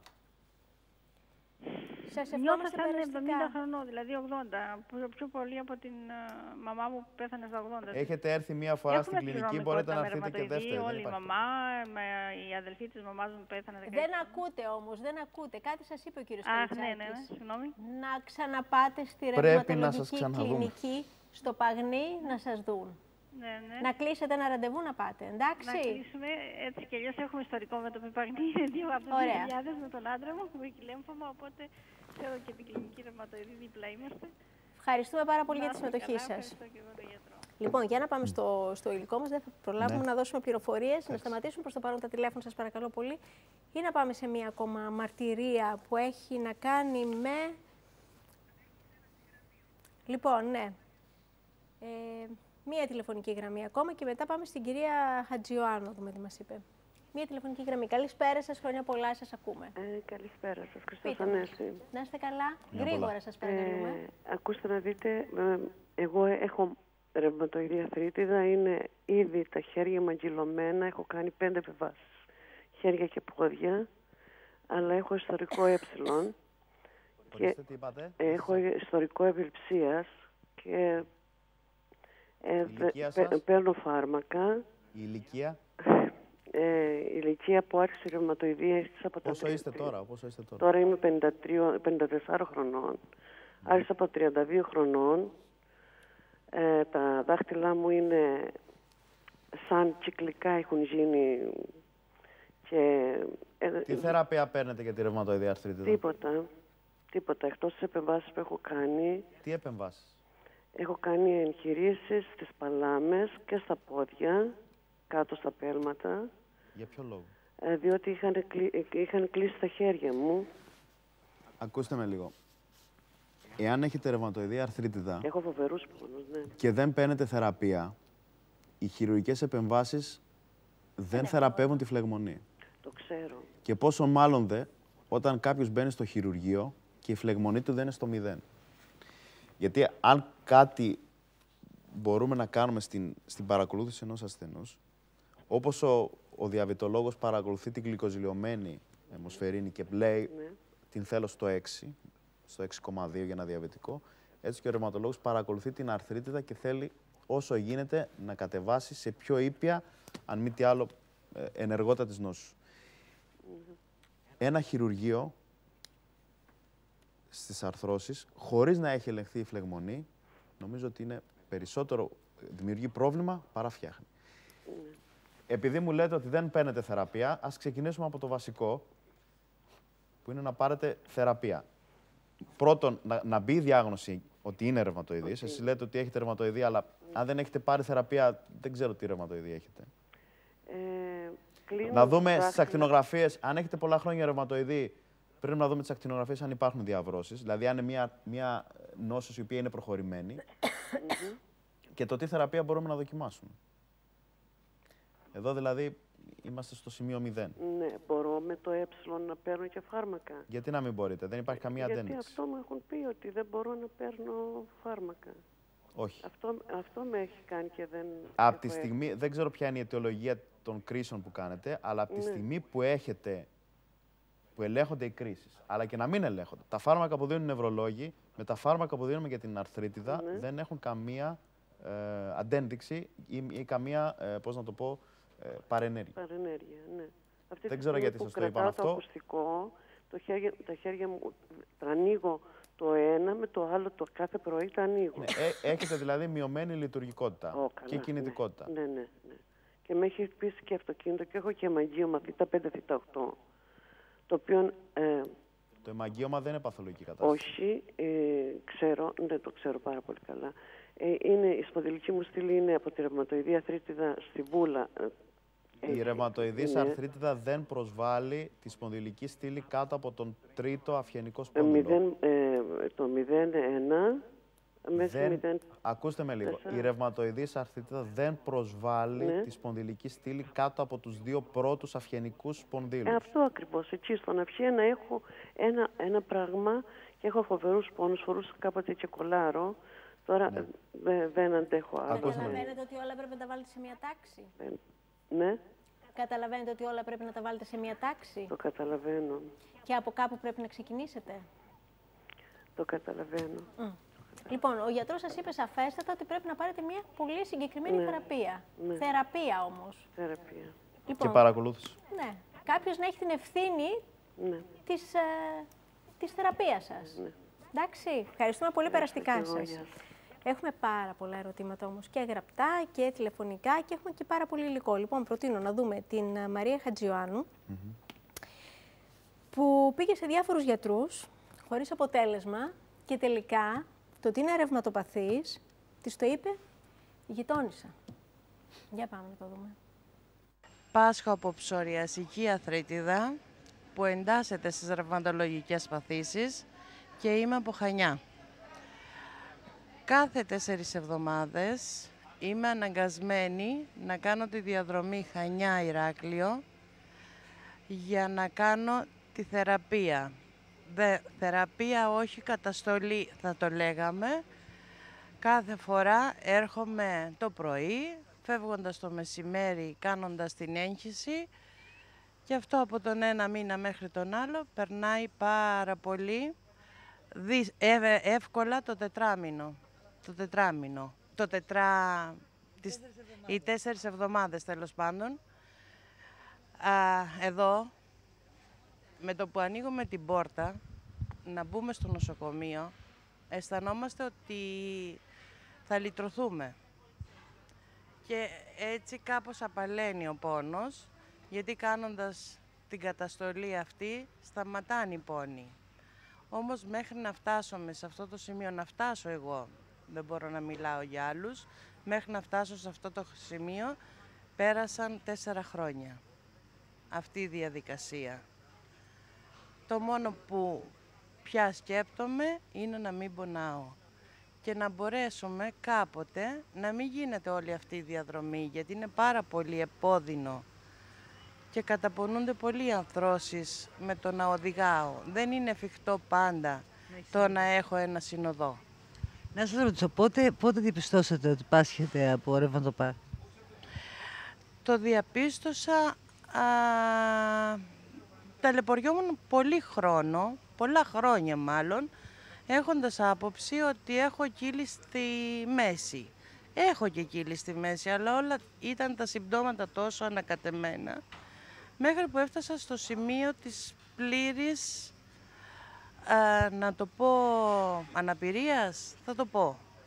Δεν μπόρεσα, ήταν τόσο οξύς ο πόνος που δεν μπορούσα ούτε να αυτοεξυπηρετηθώ. Τι συμπτώματα είχατε; Πολύ πόνο. Που δεν πονούσα, πουθενά. Που πονούσα παντού. Να μην μπορώ να ξαπλώσω, να μην μπορώ να καθίσω, να μην μπορώ να σηκωθώ, να μην μπορώ να αυτοεξυπηρετηθώ με λίγα λόγια. Ε, αυτό. Σήμερα, χάρη στις πρόοδους της ρευματολογίας, είναι εφικτή η αποτελεσματική αντιμετώπιση των ρευματικών παθήσεων με δύο προϋποθέσεις. Την έγκαιρη διάγνωση και την πρώιμη και ορθή θεραπευτική παρέμβαση. Για την εξασφάλιση αυτών των προϋποθέσεων απαιτείται ενημέρωση του κοινού για τις ρευματικές παθήσεις. Είναι σαφές λοιπόν ότι οι ρευματοπαθείς που αποτελούν ένα πολυδιάστατο πρόβλημα δημόσιας υγείας πρέπει να λαμβάνονται σοβαρά υπόψη. Όταν ξεκίνησε το πρόβλημα πήγατε στο γιατρό ή το υποτιμήσατε; Να σας πω τώρα είναι τόσο συγχυχη... ανακατεμένα στο μυαλό μου που δεν κατάλαβα ούτε πότε ξεκίνησε το πρόβλημα, απλά κατάλαβα τον αφόρητο πόνο που ήρθε ξαφνικά.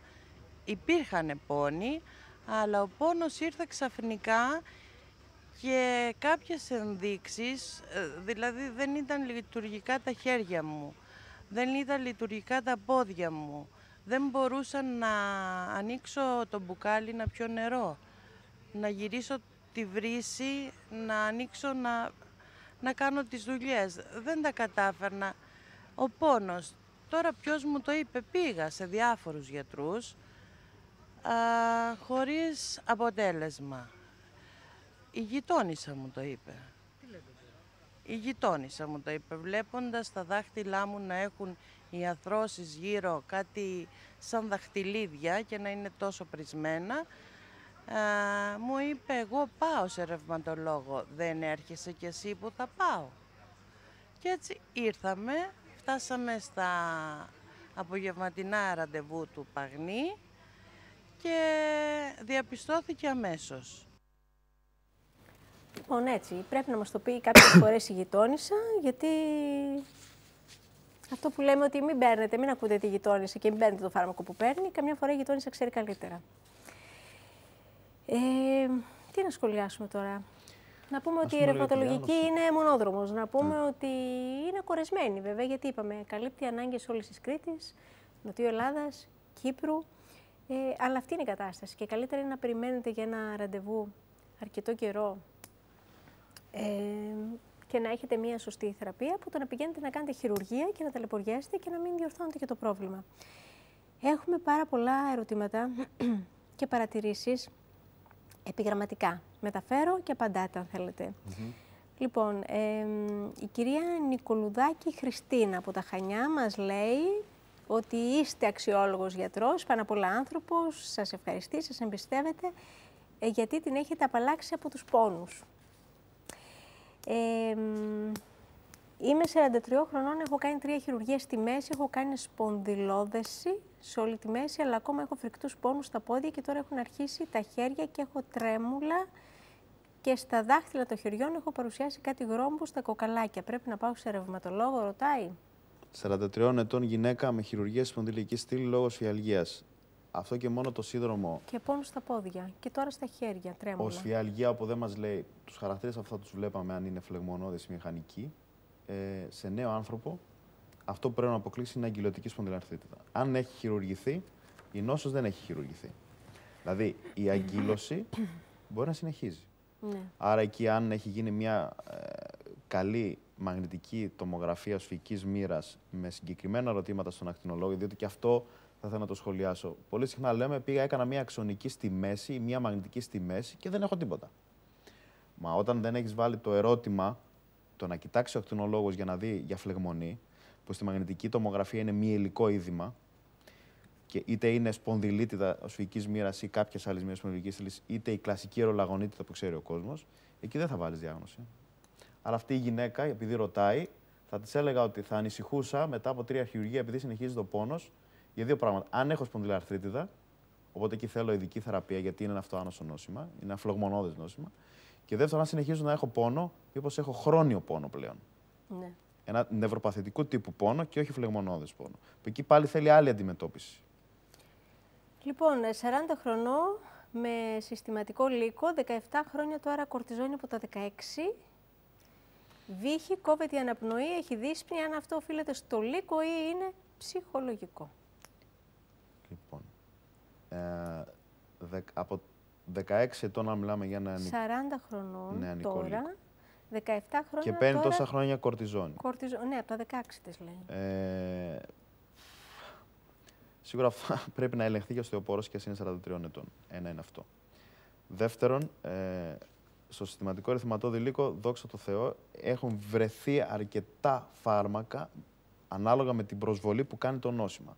Και έχουν και πολλές μελέτες ανάλογα με το τι φάρμακο θα επιλέξεις για ποια προσβολή. Ναι. Άρα και όλα αυτά τα φάρμακα έχουν σκοπό πέρα από το να ελέγξουν το νόσημα, ε, να διώξουν την κορτιζόνη γρήγορα από τη θεραπεία. Πολύ ο ρευματολόγος να δίνει κορτιζόνη, αλλά δεν την αγαπάει κιόλας. Ναι. Δηλαδή, είναι ένα φάρμακο το οποίο βοηθάει, πρέπει να ξέρεις πότε θα το δώσεις, σε συγκεκριμένες δόσεις και από εκεί και πέρα να επιλέξεις την κατάλληλη θεραπεία. Αυτά τα φάρμακα, σας είπα και πριν, υπάρχουν. Τώρα η κυρία μας πήρε τηλέφωνο και είπε ότι έχει βήχα. Ε, εάν κάτι θα σκεφτόμουν για βήχα, πρώτα σαν παθολόγος θα έλεγα ότι μήπως αυτό ένας χρόνιος βήχας είναι μια γαστροσοφαγική παλιδρόμηση. Από τη στιγμή που υπάρχει σημαντικός ερυθυματόδη λίγος, αν θα ήταν ένα δευτεροπαθές σύντομο του Σιόγκριν που κάνει ξηρότητα του ανώτερου αναπνευστικού και ένας χρόνιος βήχας σε συστηματικό ερυθυματόδη λίγο θα μπορούσε να είναι μια διάμωση πνευμονοπάθεια που εκεί θέλει μια περισσότερο. Πάντως η αλήθεια είναι ότι εσείς οι ρευματολόγοι ουσιαστικά ε, γνωρίζετε πολύ περισσότερα από τους παθολόγους ε, με την έννοια ότι είστε υποειδικότητα, έτσι. Αλλά οι διαγνωσμένοι ρευματοπαθείς, από ό,τι είδα, δεν πρέπει ε, να, να παίρνουν ούτε αντιβίωση αν δεν σας ρωτούν. Ναι. Ισχύει αυτό, ε; Ισχύει διότι είναι η διαχείριση ενός ασθενούς ο οποίος έχει ένα χρόνιο νόσημα. Δεν λέω ποτέ χρόνιος ασθενής, είναι χρόνιο το νόσημα. Ε, και πολλές φορές οι θεραπείες, οι χρόνιες, ας πούμε το φάρμακο της μεθοτρεξάτης που είναι η βάση της θεραπείας για τη ρευματοειδή αρθρίτιδα και περίπου το 70% ίσως και 80% των ασθενών που έχουν αρθρίτιδα λαμβάνουν αυτό το φάρμακο. Για παράδειγμα, όταν έχουν μια πνευμονία και πάρουν αντιβίωση, καλό θα είναι να διακόψουν. Καλό θα είναι. Αυτό πρέπει να το ξέρουν. Να διακόψουν τη μεθοτρεξάτη γιατί μπορεί αυτό να προκαλέσει ένα πρόβλημα στο ύπαρ και να έχουμε αύξηση των ασαμινασών. Πάμε να δούμε τι λέει η πρόεδρος του Συλλόγου Ρευματοπαθών Κρήτη, η κυρία Κατερίνα Κουτσογιάννη. Έχει πολύ ενδιαφέρον. Για πάμε να δούμε τη δική της εμπειρία.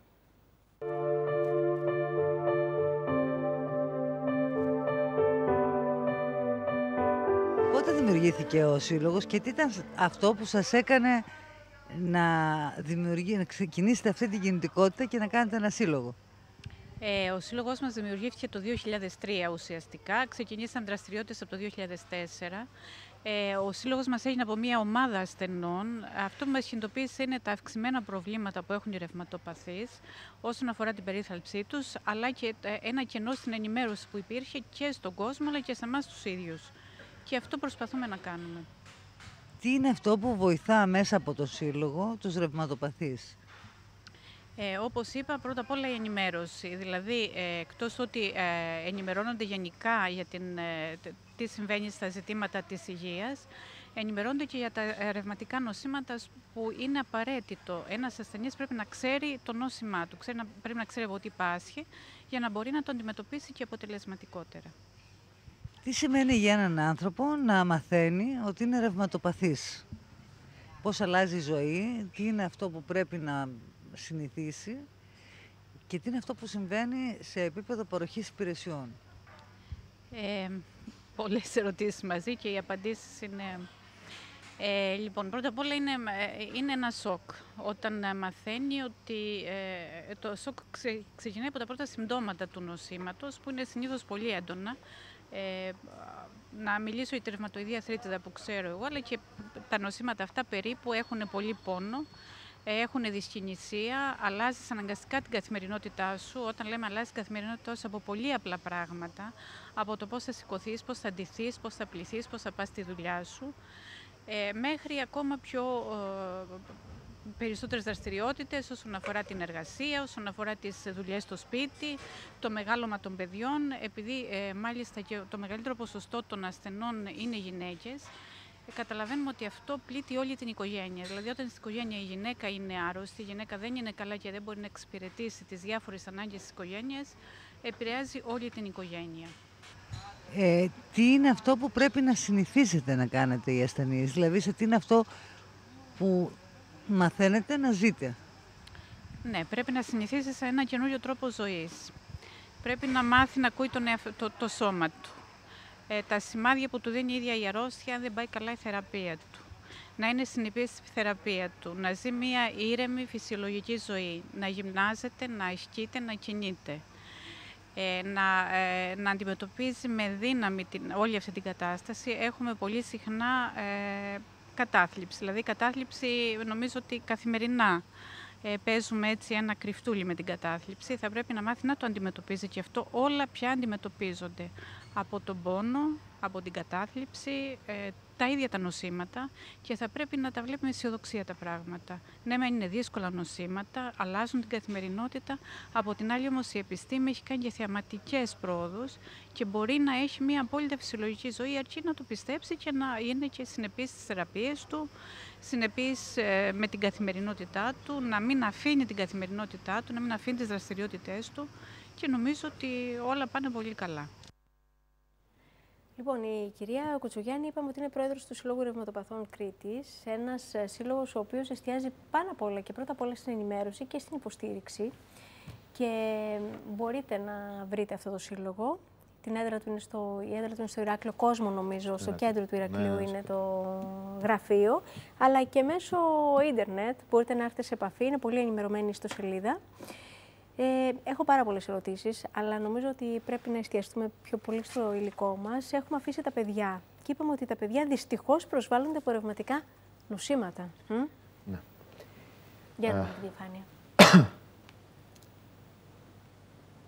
Το ερώτημα είναι ότι αν τα παιδιά προσβάλλονται και επειδή πολλοί πιστεύουν ότι α, ένα παιδί να προσβληθεί από ρευματοπάθεια. Δεν γίνεται, και όμως γίνεται. Και όμως γίνεται. Υπάρχουν μορφές λοιπόν νεανικής αρθρίτιδας, όπου υπάρχουν τουλάχιστον πέντε μεγάλες κατηγορίες, έχουν χαρακτηριστικές κλινικές και εργαστηριακές εκδηλώσεις και αν μη τι άλλο, ένας παιδίατρος που εκπαιδεύεται καλά σε αυτό το, το κομμάτι και υπάρχει και η υποειδικότητα της παιδιατρικής, ο παιδορευματολόγος, θα πρέπει αν μη τι άλλο να ξέρει ότι και εδώ η πρώιμη διάγνωση σε ένα παιδί δεν θα οδηγήσει σε ρευματοειδή ενηλίκων, άρα σε μια ζωή γεμάτη πόνο, παραμορφώσεις οστών ε, και μειωμένη λειτουργικότητα. Ε, η εγρήγορση πρέπει να είναι αρκετά αυξημένη στα παιδιά. Διότι τα παιδιά δεν θα σου πούνε ότι πονάνε. Αν μη τι άλλο, αυτό που θα κάνουν θα τα δει κανείς να μην συμμετέχουν πολύ στο παιχνίδι ή να ε, χωλένουν στη βάδιση ή να ανεβάζουν πυρετό και να μην βρίσκουμε μικρόβιο. Ναι. Ε, εκεί εντάξει, οι παιδίατροι ξέρουν ότι πρώτα πρέπει να αποκλείσουν ένα αιματολογικό νόσημα όπως είναι η λευχαιμία, αλλά το επόμενο βήμα είναι να σκεφτούν το, το, το ρευματολόγο ή το ρευματολόγο ή τον παιδορευματολόγο. Mm -hmm. Εκεί και αν δεν πρέπει να είναι σημαντική η, η πρώιμη διάγνωση. Τα διαγνωστικά τεστ είναι κάποια συγκεκριμένα που κάνουν, όπως είναι τα αντιπυρηνικά, αντισώματα, ρευματοειδή παράγοντα, αλλά δεν είναι εκεί αυτό που πρέπει να σταθεί κανείς. Α, έστειλε το ρευματοειδή παράγοντα και βγήκαν θετικά. Και αυτό είναι ένα, το λέω και για τους ενήλικες, ότι επειδή είναι πολύ συχνό το φαινόμενο να έρχεται ο ασθενής στο γιατρό και να λέει Μα έκανα εξετάσεις για λίγο και δεν έχω. Πώς μου λες εσύ ότι έχω. Ή έκανα εξετάσει για ρευματοειδή ναι. και είναι αρνητικός ρευματοειδής παράγοντας γιατί έχω. Ναι, ναι. Αυτός είναι, ο μύθος. Αυτός είναι ο μύθος. Και η πραγματικότητα είναι ότι ε, τα νοσήματα αυτά δεν συνοδεύονται πάντα από μια συγκεκριμένη εξέταση που θα τη στείλουμε, θα τη βρούμε θετική ή αρνητική και είμαστε μέσα. Λοιπόν, μια τελευταία τηλεφωνική γραμμή στον αέρα. Καλησπέρα σας. Καλησπέρα. Καλησπέρα. Ε, λέγομαι Ανεζάκη. Σας εύχομαι χρόνια πολλά καταρχήν και θέλω να ευχαριστήσω προσωπικά τον γιατρό. Είναι εξαίρετος επιστήμονας και άνθρωπος. Παρακολουθεί τον άντρα μου 1,5 μήνα και γι' αυτό πήρα και θέλω, 1,5 χρόνο συγγνώμη, και θέλω να του πω χίλια ευχαριστώ. Είναι ένας διακεκριμένος χανιώτης γιατρός. Χίλια ευχαριστώ. Γι' αυτό πήρα.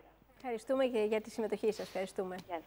Ε, η ευγνωμοσύνη των ε, ασθενών δεν είναι μικρή και όταν τους απαλλάσσετε, τους ανακουφίζετε από τον πόνο, σίγουρα είναι μεγάλη υπόθεση. Λοιπόν, πώς γίνεται η διάγνωση των ρευματικών νοσημάτων τώρα και γιατί λοιπόν, είναι δύσκολο; Παίρνοντας την ε, τελευταία πρόταση που είπατε ότι ανακουφίζουμε από τον πόνο, ναι, μεν ο ασθενής ανακουφίζεται από τον πόνο, αλλά ο γιατρός οφείλει να ε, ανακουφίσει από τη φλεγμονή. Να ε, βάλει σε μία σειρά τη φλεγμονή. Τα συμπτώματα δεν είναι ειδικά πάντα στις ρευματοπάθειες. Δεν είναι ειδικά. Δεν θα δεις τον ασθενή την πρώτη φορά στο ιατρείο, ενδεχομένω και, και τη δεύτερη φορά και να πεις θα, θα βάλω την ταμπέλα που υπάρχει στο βιβλίο. Έχει ρευματοειδή αρθρίτιδα, έχει λύκο ή έχει κάποια άλλη ρευματοπάθεια. Υπάρχουν και, υπάρχει και μια μεγάλη κατηγορία αρθριτίδων, οι αδιαφοροποιητές αρθρίτιδες, που μπορεί να μείνουν και σε ένα, αν, αν τις δει κανείς πρώιμα, σε ένα πολύ μεγάλο ποσοστό αδιαφοροποιητές. 60, 70. Και ε, επειδή λέγαμε για την κλινική, η κλινική ε, του Πανεπιστημιακού Νοσοκομείου είναι και από τις οι μόνε στην Ελλάδα που κάνει ιατρείο πρώιμης αρθρίτιδα. Μια φορά τη βδομάδα. Αλλά ας γυρίσουμε όμως στη διάγνωση. Η διάγνωση είναι καταρχήν το, το κλινικό σύνδρομο, η ναι. κλινική εξέταση, τα ευρήματα που έχουμε και ε, σε δεύτερο λόγο τα εργαστηριακά. Ναι. Που είπαμε Σημαίνει πριν. ότι πιάνετε τον ασθενή, ναι. τον βλέπετε, ε, αισθάνεστε τη θερμοκρασία του. Να δούμε λίγο τη διαφάνεια εδώ με ναι. τις αρθρώσεις. Ναι. Πω, πω. Λοιπόν, εδώ ε, ξεκινάει κανείς με, με υπομονή να δει κάθε άρθρος ξεχωριστά, διότι μιλάμε για πολυαρθρίτιδα ε, και η αρθρίτιδα δεν είναι μόνο ο πόνος. Ο πόνος είναι, είπαμε, για τον ασθενή. Είναι όπως το αντιλαμβάνεται. Ο γιατρός, με βάση την εμπειρία του, θα δει τη θερμότητα, θα δει τη διόγκωση, όπως λέμε εδώ, την ευαισθησία και ενδεχομένως φορές και υγρό στην άρθρωση. Και επειδή λέμε για υγρό στην άρθρωση, ιδίως αν είναι μια άρθρωση εύκολα προσβάσιμη για παρακέντηση, ε, όπως και να έχει, αν δεν μιλάμε για τραύμα, οποιοδήποτε υγρός σε άρθρωση πρέπει να παρακεντείται, να το βλέπουμε στο μικροσκόπιο, να μετράμε τα κύτταρα, να τα στέλνουμε για καλλιέργεια, γιατί βοηθάει πάρα πολύ στη διάγνωση. Ναι. Πιο πολύ θα με βοηθήσει στη διάγνωση αν δω ένα υγρό στο μικροσκόπιο, από το αν δω ότι ένας έχει ταχύτητα καθιζήσεω 30. Δεν θα μου πει τίποτα το 30, όμως αν δω ένα υγρό στην άρθρωση που είναι φλεγμονώδες, έτσι, για να μπαίνουμε στα επιμέρους ρευματοειδής αθρίτιδα, να δούμε τι εικόνα παρουσιάζει, γιατί νομίζω ότι είναι πολύ χαρακτηριστική η εικόνα. Ε; Ναι. Για να δούμε. Δυστυχώς τέτοια χέρια υπάρχουν πολλά. Η εικόνα που έχουμε εδώ, βέβαια, θα πρέπει μελλοντικά να είναι εικόνα για μουσείο και εικόνα ε, παράδειγμα προς αποφυγή. Και το λέω αυτό γιατί. Είναι κρίμα. Με, με τα καινούργια φάρμακα και με την πρώιμη διάγνωση που μιλάμε τόση ώρα εδώ, ε, αυτές οι παραμορφώσεις δεν πρέπει να υπάρχουν. Και αυτές οι παραμορφώσεις συμβαίνουν γιατί υπάρχουν οστικές διαβρώσεις, φαγώνονται τα οστά, όπως το, το λέμε στην ακτινογραφία, είναι ποντικοφαγωμένα, να το πω έτσι απλά. υπάρχουν ρήξεις τενόντων και οι ρήξεις τενόντων οδηγούν σε τέτοιες παραμορφώσεις, την κλασική ολένη απόκριση. Λέμε εδώ για την ε, ρευματοειδή ότι μπορεί να είναι πολυσυστηματική νόσος και ε, μπορεί να ε, έχει εκδηλώσεις από τους πνεύμονες, από την καρδιά, από τους οφθαλμούς. Είναι πολύ συχνό στη ρευματοειδή να έρχει κανείς σκληρίτιδα, σκληρίτιδα του οφθαλμού, το δέρμα και αιματολογικές εκδηλώσεις όπως μία πρώτη εκδήλωση μπορεί να είναι το έντονο εργασιακό φλεγμονώδες σύνδρομο που κάνει. Και βέβαια, τελειώνοντας στη διαφάνεια εκεί λέει γενικά συμπτώματα. Ποια είναι τα γενικά συμπτώματα, πυρετός και πάνω από τρεις εβδομάδες, αγνώστη αιτιολογία για κάποιους, εύκολη κόποση, κακουχία. Να προχωρήσουμε στην οστεοαρθρίτιδα. Πολύ συνηθισμένη ναι. και αυτή. Οστεοαρθρίτιδα είναι αυτό που είπαμε στην αρχή της συζήτησής μας, η μεγάλη αντιπρόσωπο της εκφυλιστικής αρθρίτιδας. Βλέπουμε εδώ στην διαφάνεια τις πιο συχνές εντοπίσεις, στη σπονδυλική στήλη την κατώτερη, στο ισχύο ε, και στα άκρα χέρια ε, είναι μια εκδήλωση σε άτομα 40 με 50 έτη, όχι νωρίτερα. Και αυτό που συνοδεύει τους ανθρώπους αυτούς είναι πόνος, δισκαμψία, δυσκινησία. Πόνος όμως όχι με τέτοια δισκαμψία πρωινή, δηλαδή στα 5-10 λεπτά σου λένε ότι είμαι εντάξει. Όπως είναι στη ρευματοειδή μπορεί να περάσει και το μισάωρο. Και ε, η εξέταση εδώ, αν μη τι άλλο, είναι επίσης κλινική. Δεν θα έλεγα ότι στην οστεοαρθρίτιδα πρέπει να βγάζουμε ακτινογραφίες, πάντα, εκτός αν έχουμε αμφιβολία για τη διάγνωση, διότι ας πούμε για την, ε, οι οδηγίες της Αμερικάνικης Εταιρείας για την οστεαρθρίτιδα του γόνατος λένε ότι φτάνει να έχεις κρυγμό στην άρθρωση πάνω, πάνω από δύο με τρεις μήνες και ε, αποκλεισμό φλεγμονώδης αρθρίτητα. Φτάνει. Δηλαδή η ακτινογραφία ναι, δεν είναι κάτι που θα μου πει έχει δεν έχει. Ναι, ναι. Ε, βασικά αυτό που πρέπει να μας προβληματίσει είναι ένας πόνος ο οποίος ξεκινάει το πρωί που δεν θα έπρεπε και ξεκλειδώνει. Αυτό πρέπει να μας υποψιάσει. Ένας πόνος ανεξήγητος που συμβαίνει και στις διακοπές μας, που ε, είναι κάθε μέρα για τουλάχιστον δύο με τρεις μήνες. Μπορεί να νομίζουμε ότι φταίει το μαξιλάρι, ναι. φταίει το στρώμα, φταίει η διάθεσή μας. Η διάθεση, η, η κούραση. Ένας πόνος που ξεκλειδώνει ναι. μόνος. Έχουμε ακούσει αρκετές δικαιολογίες, ναι. αλλά Λοιπόν, να προχωρήσουμε. Πάμε στην οσφιαλική. Ναι, ναι, ό,τι θέλετε, ό,τι θέλετε. Επειδή η επόμενη κατηγορία μετά τη ρευματοειδή και επειδή συζητήσαμε και προηγουμένως την κυρία που μας τηλεφώνησε την 40χρονη ε, για την οσφιαλγία, ναι. θα πρέπει κανείς να ξέρει ότι ε, τα μηχανικά αίτια είναι και τα πιο συχνά, το 97%. Mm Όμως υπάρχει και ένα μεγάλο ποσοστό, ε, ένα μικρότερο ποσοστό, όπου δεν είναι μηχανικό το αίτιο. Και στην επόμενη διαφάνεια βλέπουμε ότι ιδίως όταν μιλάμε για ανθρώπους κάτω από τα 40, νέους δηλαδή, αρκετά νέους, ε, όπου η εμφάνιση αυτή δεν είναι οξία, δεν έπαθα ένα λουμπάγκο ξαφνικά και πρέπει να πάω στο ρευματολόγο, ε, είναι βραδία, συνοδεύεται από πρωινή δισκαμψία, βελτιώνεται με την άσκηση, κάποιες φορές τους ξυπνάει στον ύπνο. Αυτοί οι ασθενείς πολύ συχνά θα πούνε ότι οδηγώ πάνω από μισή ώρα και πονάω, στέκομαι στην εκκλησία και περιμένω να χαιρετήσω και πονάω. Και τα συμπτώματα αυτά διαρκούν πάνω από τρεις μήνες. Εκεί, αν μη τι άλλο, θα πρέπει κανείς να σκεφτεί την σπονδυλαρθρίδα. Τώρα είναι εγκυλωτική άλλη μορφή και ε, στην οικογένεια των σπονδυλαρθρίτων θα πρέπει να θυμίσω την ψωριασική που είπαμε πριν και την εντεροπαθητική. Ένα άλλο κομμάτι που είναι σε ασθενείς με διαγνωσμένη φλεγμονώδη νόσο του εντέρου, όπως η νόσο του κρόνη ή ελκό δυσκολίτιδα, ναι. όπου έρχονται με πόνο στη μέση ή με πόνο στις αρθρώσεις, τις μικρές. Και εκεί θα πρέπει να δούμε τι είναι. Γιατί μπορεί να είναι μια εξωεντερική εκδήλωση της νόσου. Και επίσης είναι όχι πολύ συχνό, όχι το πιο συχνό, αλλά να εμφανιστεί πρώτα η εντεροπάθεια, η, με η αρθρίτιδα, η εντοπαραθητική και μετά η εκδήλωση από το έντερο. Μάλιστα. Να δούμε την εικόνα που έχει ο λύκος, ο ερυθυματώδης. Ναι. Πολύ παράξενη εικόνα. Αυτό είναι. Βέβαια μια εικόνα από το βιβλίο. Ναι. Το μπορεί να το, δεν θα το δούμε πάντα. Είναι και δεν θα πολύ μας... παραμελημένο ναι. περιστατικό ναι. αυτό. Δεν θα μας έρθει με αυτή την εικόνα. Έτσι. Ένα από τα στοιχεία της αυτοανοσίας που μπορεί να χαρακτηρίσουν αυτά τα νοσήματα όπως είναι ο λύκος ή το σύνολο του Γέγκρεν είναι η τριχόπτωση, είναι η φωτοευαισθησία. Τη φωτοευαισθησία δεν πρέπει να την ξεχνάμε. Είναι αυτό το ερύθμα το χαρακτηριστικό της χρυσαλίδας που λέμε, το, το ερύθμα των παριών, που έχει χαρακτηριστική κατανομή και θα πρέπει να ξέρει κανείς να το αναγνωρίσει. Πληγές στο στόμα, άφθες, συχνές, που υποτροπιάζουν, που είναι επώδυνες, μας ενοχλούν και το θρύλωμα της ξηρότητας. Ξηροφθαλμία, ξηροστομία. Ε, έχω ερυθυματώδη λύκο, μας ρωτάει μια φίλη τηλεθεάτρια ή τηλεθεατής, δεν ξέρω. Τελευταία αισθάνομαι αριθμίες. Πρέπει να κάνω καρδιολογικές εξετάσεις, ρωτάει. Λοιπόν, είναι σπάνιο σπάνια, πολύ σπάνια εκδήλωση του συστηματικού ρυθματόδου λύκο να έχει εκδήλωση από το σύστημα της καρδιάς που ρυθμεί, ε, της, της συχνότητας. Ναι. Ε, δεν ξέρω αν, δεν νομίζω ότι αυτή είναι εκδήλωση ε, του συστηματικού ρυθματόδου λύκου. Οι αριθμίες όμως μπορούν να προκληθούν από μια, πλευρητική, μια περικαρδιακή συλλογή, περικαρδίτιδα δηλαδή, και αν μη τι άλλο αυτό χρειάζεται ένα υπερηχογράφημα και μια προσέγγιση από τον καρδιολόγο της. Ένα χόλτε ρυθμού, Ναι. χωρίς αυτό να, να, να- θέλω να πω ότι θέλει ανοσοτροπητική θεραπεία. Αν έχει περικαρδίτητα είναι άλλο. Αυγενικό, όταν κάνει δουλειές πονάνε τα δάχτυλα, είναι ρευματικό. Έχει πετάξει κοκαλάκια στα δάχτυλα. Αν μπορώ να καταλάβω, τα κοκαλάκια στα δάχτυλα είναι τα λεγόμενα οζίδια του Χέμπερτεν και του Μπουσάρτ, που είναι Τα στις άποκες δαχτυλίδια, εγγυ φάλαγγες Ναι. και είναι εκδηλώσεις οστεαρθρίτας χεριών.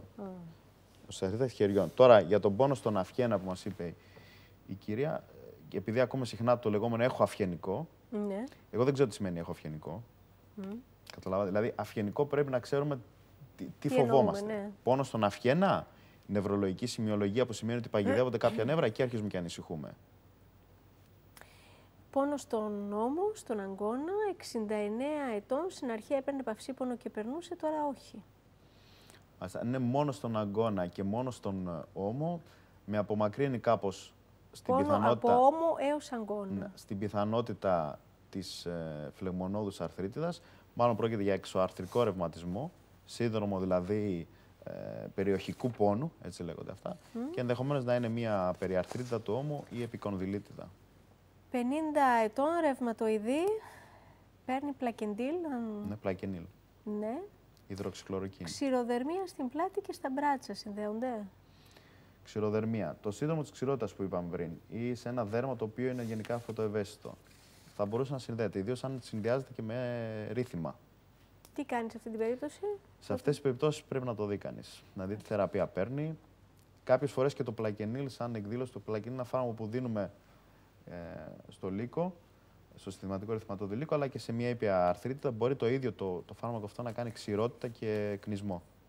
39 χρονών είχε πάει στον κριτικό. Η νομιαλγία πώς αντιμετωπίζεται, δεν έχει πάρει φάρμακα, πονάει παντού. Μάλιστα. Να δείξουμε τη διαφάνεια της νομιαλγίας. Με αφορμή την ερώτηση. Η νομιαλγία δεν είναι μια ρευματοπάθεια εξορισμού.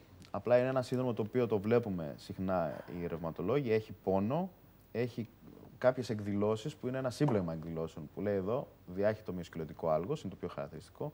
Εντοπισμένη ευαισθησία, τα λεγόμενα σημεία ευαισθησίας, trigger points, που πρέπει να ξέρει ο γιατρός να τα αναγνωρίσει και να μην είναι κάτι άλλο. Συνοδεύω διαταραχές του ύπνου, αίσθημα κόπωσης, κεφαλαλγία, διαταραχή ε, στο έντερο, μπορεί να έχει ευερέθηση στο έντερο. Το ευερέθηση στο έντερο, τη στιγμή που έχει κάνει κανείς σκολοσκόπηση και είναι αρνητική και έχει συνεχίζει να έχει διάρρηση, ή, ε, φαίνεται να είναι μια διαταραχή του νευρικού συστήματος, του εντέρου και είναι στο σύμπλεγμα της συνομιαλγίας. Και τέλος, αν μη τι άλλο, ο γιατρός που το βλέπει θα πρέπει να ε, εξαιρέσει άλλες, άλλα νοσήματα όπως είναι ένας βαρύς υποθυροειδισμός, ο οποίος μπορεί να κάνει ε, διάχυτες σε μυαλγίες. Η κυρία λοιπόν μας πήρε τηλέφωνο και μας είπε ότι έχει διάγνωση νομιαλγία, Δεν έχει πάρει φάρμακα.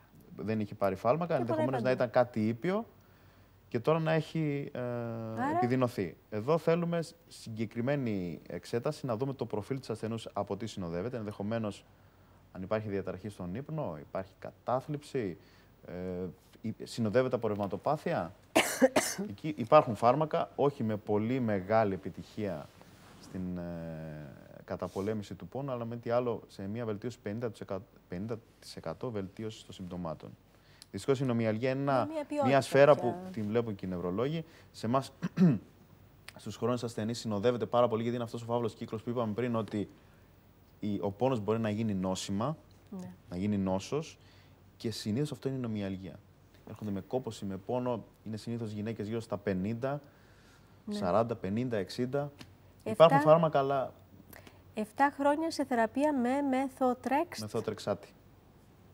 Μεθότρεξάτη. Δικαιολογεί τους πόνους ή πρέπει να συμπληρωθούν φάρμακα 43 χρονών; Αυτό που είπαμε πριν ότι μετράμε την αρθρίτιδα και θέλουμε να βλέπουμε τον ε, ρευματοπαθή, τον ασθενή με αρθρίτιδα κάθε, τον πρώτο χρόνο τουλάχιστον κάθε τρεις μήνες, είναι για να δούμε η θεραπεία που βάλαμε τι δουλειά κάνει. Μετράμε. Αυτό που λέμε σκοράρουμε τις αρθρώσεις. Τις επώδυνες, τις επανεξετάσεις, διωγγωμένε, θέλει επανεξετάσεις. επανεξέταση. Να δούμε αν μπορεί να χρειάζεται λίγο κορτιζόνη, γιατί μπορεί να έχει κάνει μια έξαρση, ή μπορεί να είναι μια έξαρση η οποία διαρκεί, άρα θέλει τιτλοποίηση της αγωγής, κάτι παραπάνω.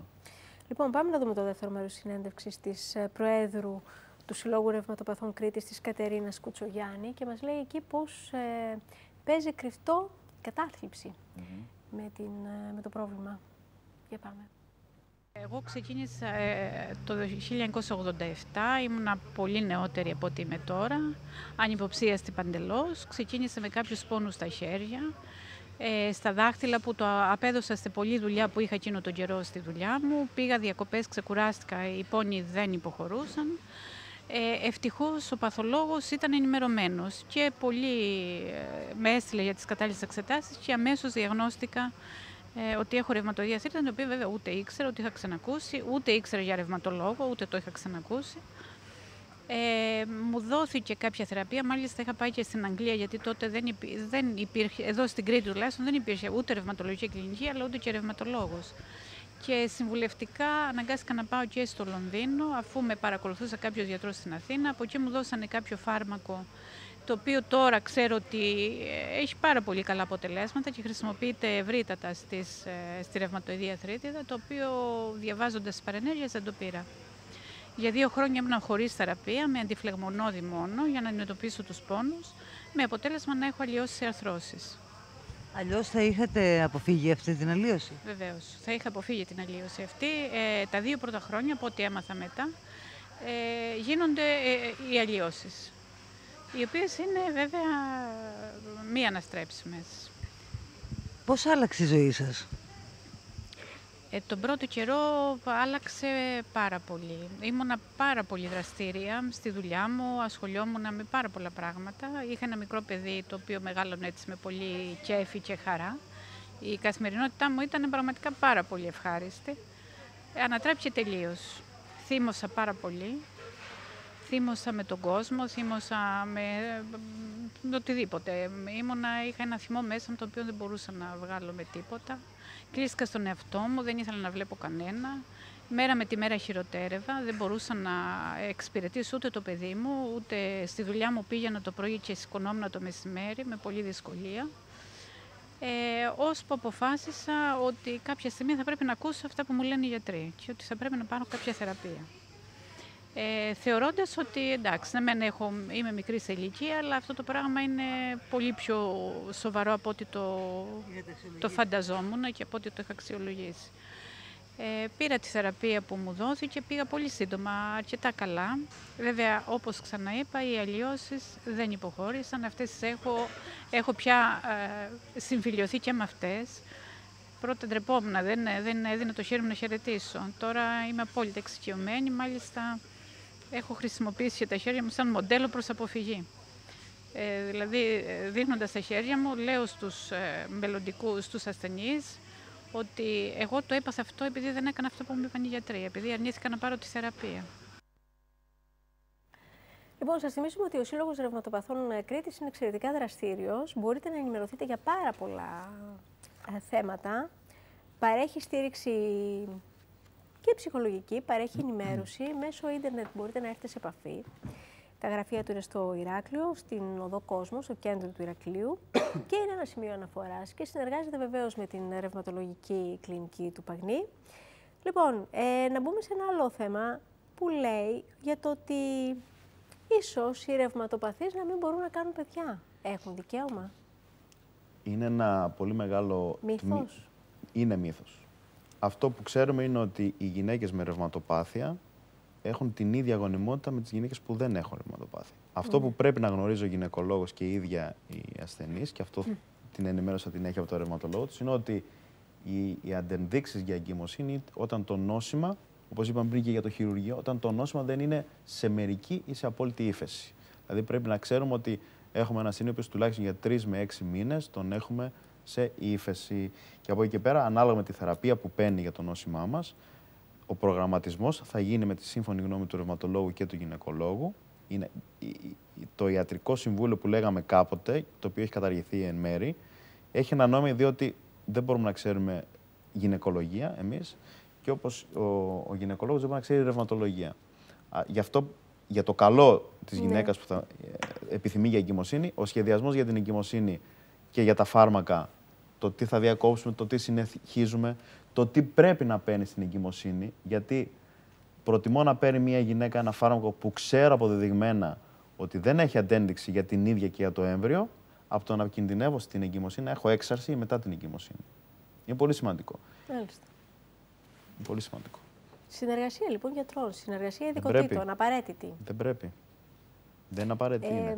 έχουμε καλά αποτελέσματα. Γίνεται αυτή η συνεργασία στην πράξη σε επίπεδο ιδιωτών. Γίνεται στην πράξη αρκετά συχνά. Νο- ε, Η, η κλινική μας, α- αν μη τι άλλο, προσπαθεί να ενημερώνει το, το, τις γυναίκες με ρευματοπάθεια που επιθυμούν εγκυμοσύνη για τους κινδύνους και για τα ωφέλη. Και για το πόσο τελικά έχει ασφάλεια να μπει στη διαδικασία να μείνει έγκυος. Μάλιστα. Λοιπόν, συμπεράσματα. Τι κρατάμε από όλα αυτά. Ε, Είχαν εξαιρετικό ενδιαφέρον. Δεν είδαμε ούτε το μισό υλικό σε σχέση με την ενημέρωση, αλλά τουλάχιστον νομίζω ότι Θα κουνήσαμε κρατήσω- καμπανάκι ναι. κινδύνου. Χτυπήσαμε καμπανάκι κινδύνου. Τι κρατάμε, κύριε Καλιτσάκη; Το πρώτο συμπέρασμα που θα έλεγα είναι ότι η επίσκεψη στο ρευματολόγο όταν υπάρχει πόνος στα οστά, στις αρθρώσεις, στους μύες. Ναι. Έτσι, αρθραλγίες δηλαδή, πρωινή δισκαμψία, ανεξήγητος πόνος που διαρκεί παραπάνω από ένα μήνα. Δεν είναι φυσιολογικός ο πόνος. Δεν είναι φυσιολογικός Είναι ο πόνος. σύμπτωμα που μας οδηγεί το στο ότι, γιατρό. το ότι ζούμε σε μια αγροτική περιοχή και ε, δουλεύουμε ε, στα χωράφια ή, ή κάπου αλλού δεν σημαίνει ότι πρέπει να πονάμε κιόλας Ναι. συνέχεια. Το είναι ότι η έγκυρη διάγνωση μειώνει τον κίνδυνο σοβαρής νόσου και εξέλιξης της νόσου. Ότι τα αυτάνοσα νοσήματα εμφανίζονται όταν το νοσοποιητικό σύστημα στρέφεται κατά υγιών ιστών του σώματος. Αυτό τα κάνει κάποιες φορές συστηματικά. Ο καθήλυνα αρμόδιος για να βάλει τη διάγνωση είναι ο ρευματολόγος. και η διάγνωση πρέπει να είναι κατά βάση κλινική και εξετάσεις ε, να βοηθούν τη διάγνωση. Δεν, είναι, απ- δεν προκαλούνται από μικρόβια, δεν είναι καρκίνος και κάτι που δεν είπαμε, δεν μεταδίδονται. Ναι. Το κάπρισμα Προκαλεί. προκαλεί αρθρίτιδα, έχει βρεθεί. Οι ρευματοπαθείς, οι, είναι, οι ρευματοπάθεις είναι νοσήματα ανθρώπων κυρίως παραγωγικής ηλικίας, νέοι. Και τέλος, τα φάρμακα στη σύγχρονη εποχή έχουν βελτιώσει σε μεγάλο βαθμό τη λειτουργικότητα και τη δημιουργικότητα των ε, ρευματοπαθών. Έχουμε κερδίσει πάρα πολλά την τελευταία δεκαετία και ε, η ειδικότητα της ρευματολογίας στοχεύει στην έρευνα για την πρώιμη διάγνωση και τη βέλτιστη θεραπεία των ρευματικών νοσημάτων. Εσείς τελειώσατε. Εγώ είναι πρώτη φορά, ομολογώ, που έχω αφήσει ερωτήσεις και δεν τις έχω μεταφέρει γιατί ο χρόνος μας πιέζει. Μία που βλέπω SOS, πρόβλημα στο πόδι, τρεις θεραπείες επισκληρίδιο, συν κοκτέιλ φαρμάκων στην Αθήνα, επιμένει ο πόνος, συμπαλτά. Συμπάλτα. Συμπάλτα πεμπτή, θα φύγει ο πόνος. Έχει και κίνηση σπονδυλική, αλλά όχι χειρουργείο. 37 ετών. Νέος άνθρωπος με πόνο στο πόδι, αν εννοεί πόδι, προφανώς εννοεί το κάτω άκρο ή τον άκρο πόδα. Τι να σας πω. Και πάλι ε, το συμπάλτα που αναφέρει και το πεντίν είναι φάρμακα που Στο δίνουμε... ισχύο, Νευρο... Ισχύο. από ό,τι μου λέει η Ευαγγελία. Ισχύο είναι σοβαρή άρθρωση για νέο άνθρωπο. Είναι μια άρθρωση που ιδίως προσβάλλεται στην αγκυλωτική, αλλά και στην νεανική αρθρίτιδα και στη ρευματοειδή αρθρίτιδα. Θα πω αυτό που είπα και πριν. Κλινική εξέταση, να δούμε ποιο είναι το πραγματικό του πρόβλημα. Ένας άνθρωπος 37 εκτών ή έχει μια φλεγμονώδη αρθρίτιδα ή σε αυτή την ηλικία εμφανίζεται το αποτέλεσμα μιας συγγενούς δυσπλασίας του ισχύου που δεν την ήξερε, γιατί ποτέ δεν είχε πρόβλημα. Αυτό το βλέπει κάποιες φορές σε, σε ποδοσφαιριστές που όταν τελειώνει το ποδόσφαιρο έχουν πρόβλημα με το ισχύο και τους λένε είναι επειδή έπαιζες μπάλα. Και βλέπεις την ακτινογραφία και αναγνωρίζεις συγγενή δυσπλασία του ισχύου. Ναι. Έχει κάνει μαγνητικές, δεν έχει πάρει σαφή διάγνωση. Και για τη μαγνητική σας είπα και πριν, Ότι θα δεν ξέρουμε προτιμούσα να τι τη δει ψάχνουμε. κάποιος πιο ειδικός στο μυοσκελετικό σύστημα. Λοιπόν, να ζητήσω συγγνώμη για τις ερωτήσεις που δεν μεταφέρω. Ο χρόνος μας πιέζει, ήδη έχουμε ξεφύγει. Ε, να σας ευχαριστήσω θερμά κύριε Καλιτσάκη. Εγώ ευχαριστώ για Βλέπω την ευκαιρία. ότι υπάρχει τεράστιο ενδιαφέρον. Και αυτό δεν είναι τυχαίο. Βλέπω ότι υπάρχουν τεράστια προβλήματα, πολλοί πόνους, ασθενείς που ταλαιπωρούνται, που πηγαίνουν σε άλλες ειδικότητες, που υποφέρουν. Και νομίζω ότι πρέπει να περάσουμε αυτό το μήνυμα. Ότι δηλαδή με τις ρευματοπάθειες δεν πρέπει να παίζουμε, ότι δεν πρέπει να πηγαίνουμε αβασάνιστα σε χειρουργία, γιατί δεν είναι μόνο το τι βλέπουμε, είναι το τι γίνεται. Ε, Η φλεγμονή δουλεύει από κάτω και είπαμε, ε, υπάρχει φόβος για τα ζωτικά όργανα και αυτό είναι ό,τι χειρότερο, το καταλαβαίνετε. Λοιπόν, ευχαριστούμε πάρα πολύ, ευχαριστώ πολύ Είστε καλά. για την παρουσία Χρόνια πολλά σας. και πάλι. Και σε εσάς χρόνια πολλά να έχετε την υγεία σας να βοηθάτε τον κόσμο. Ευχαριστούμε, φίλοι τηλεθεατές, θερμά για την προσοχή σας και τη συμμετοχή σας. Καλό βράδυ, καλό ξημέρωμα. Γεια σας.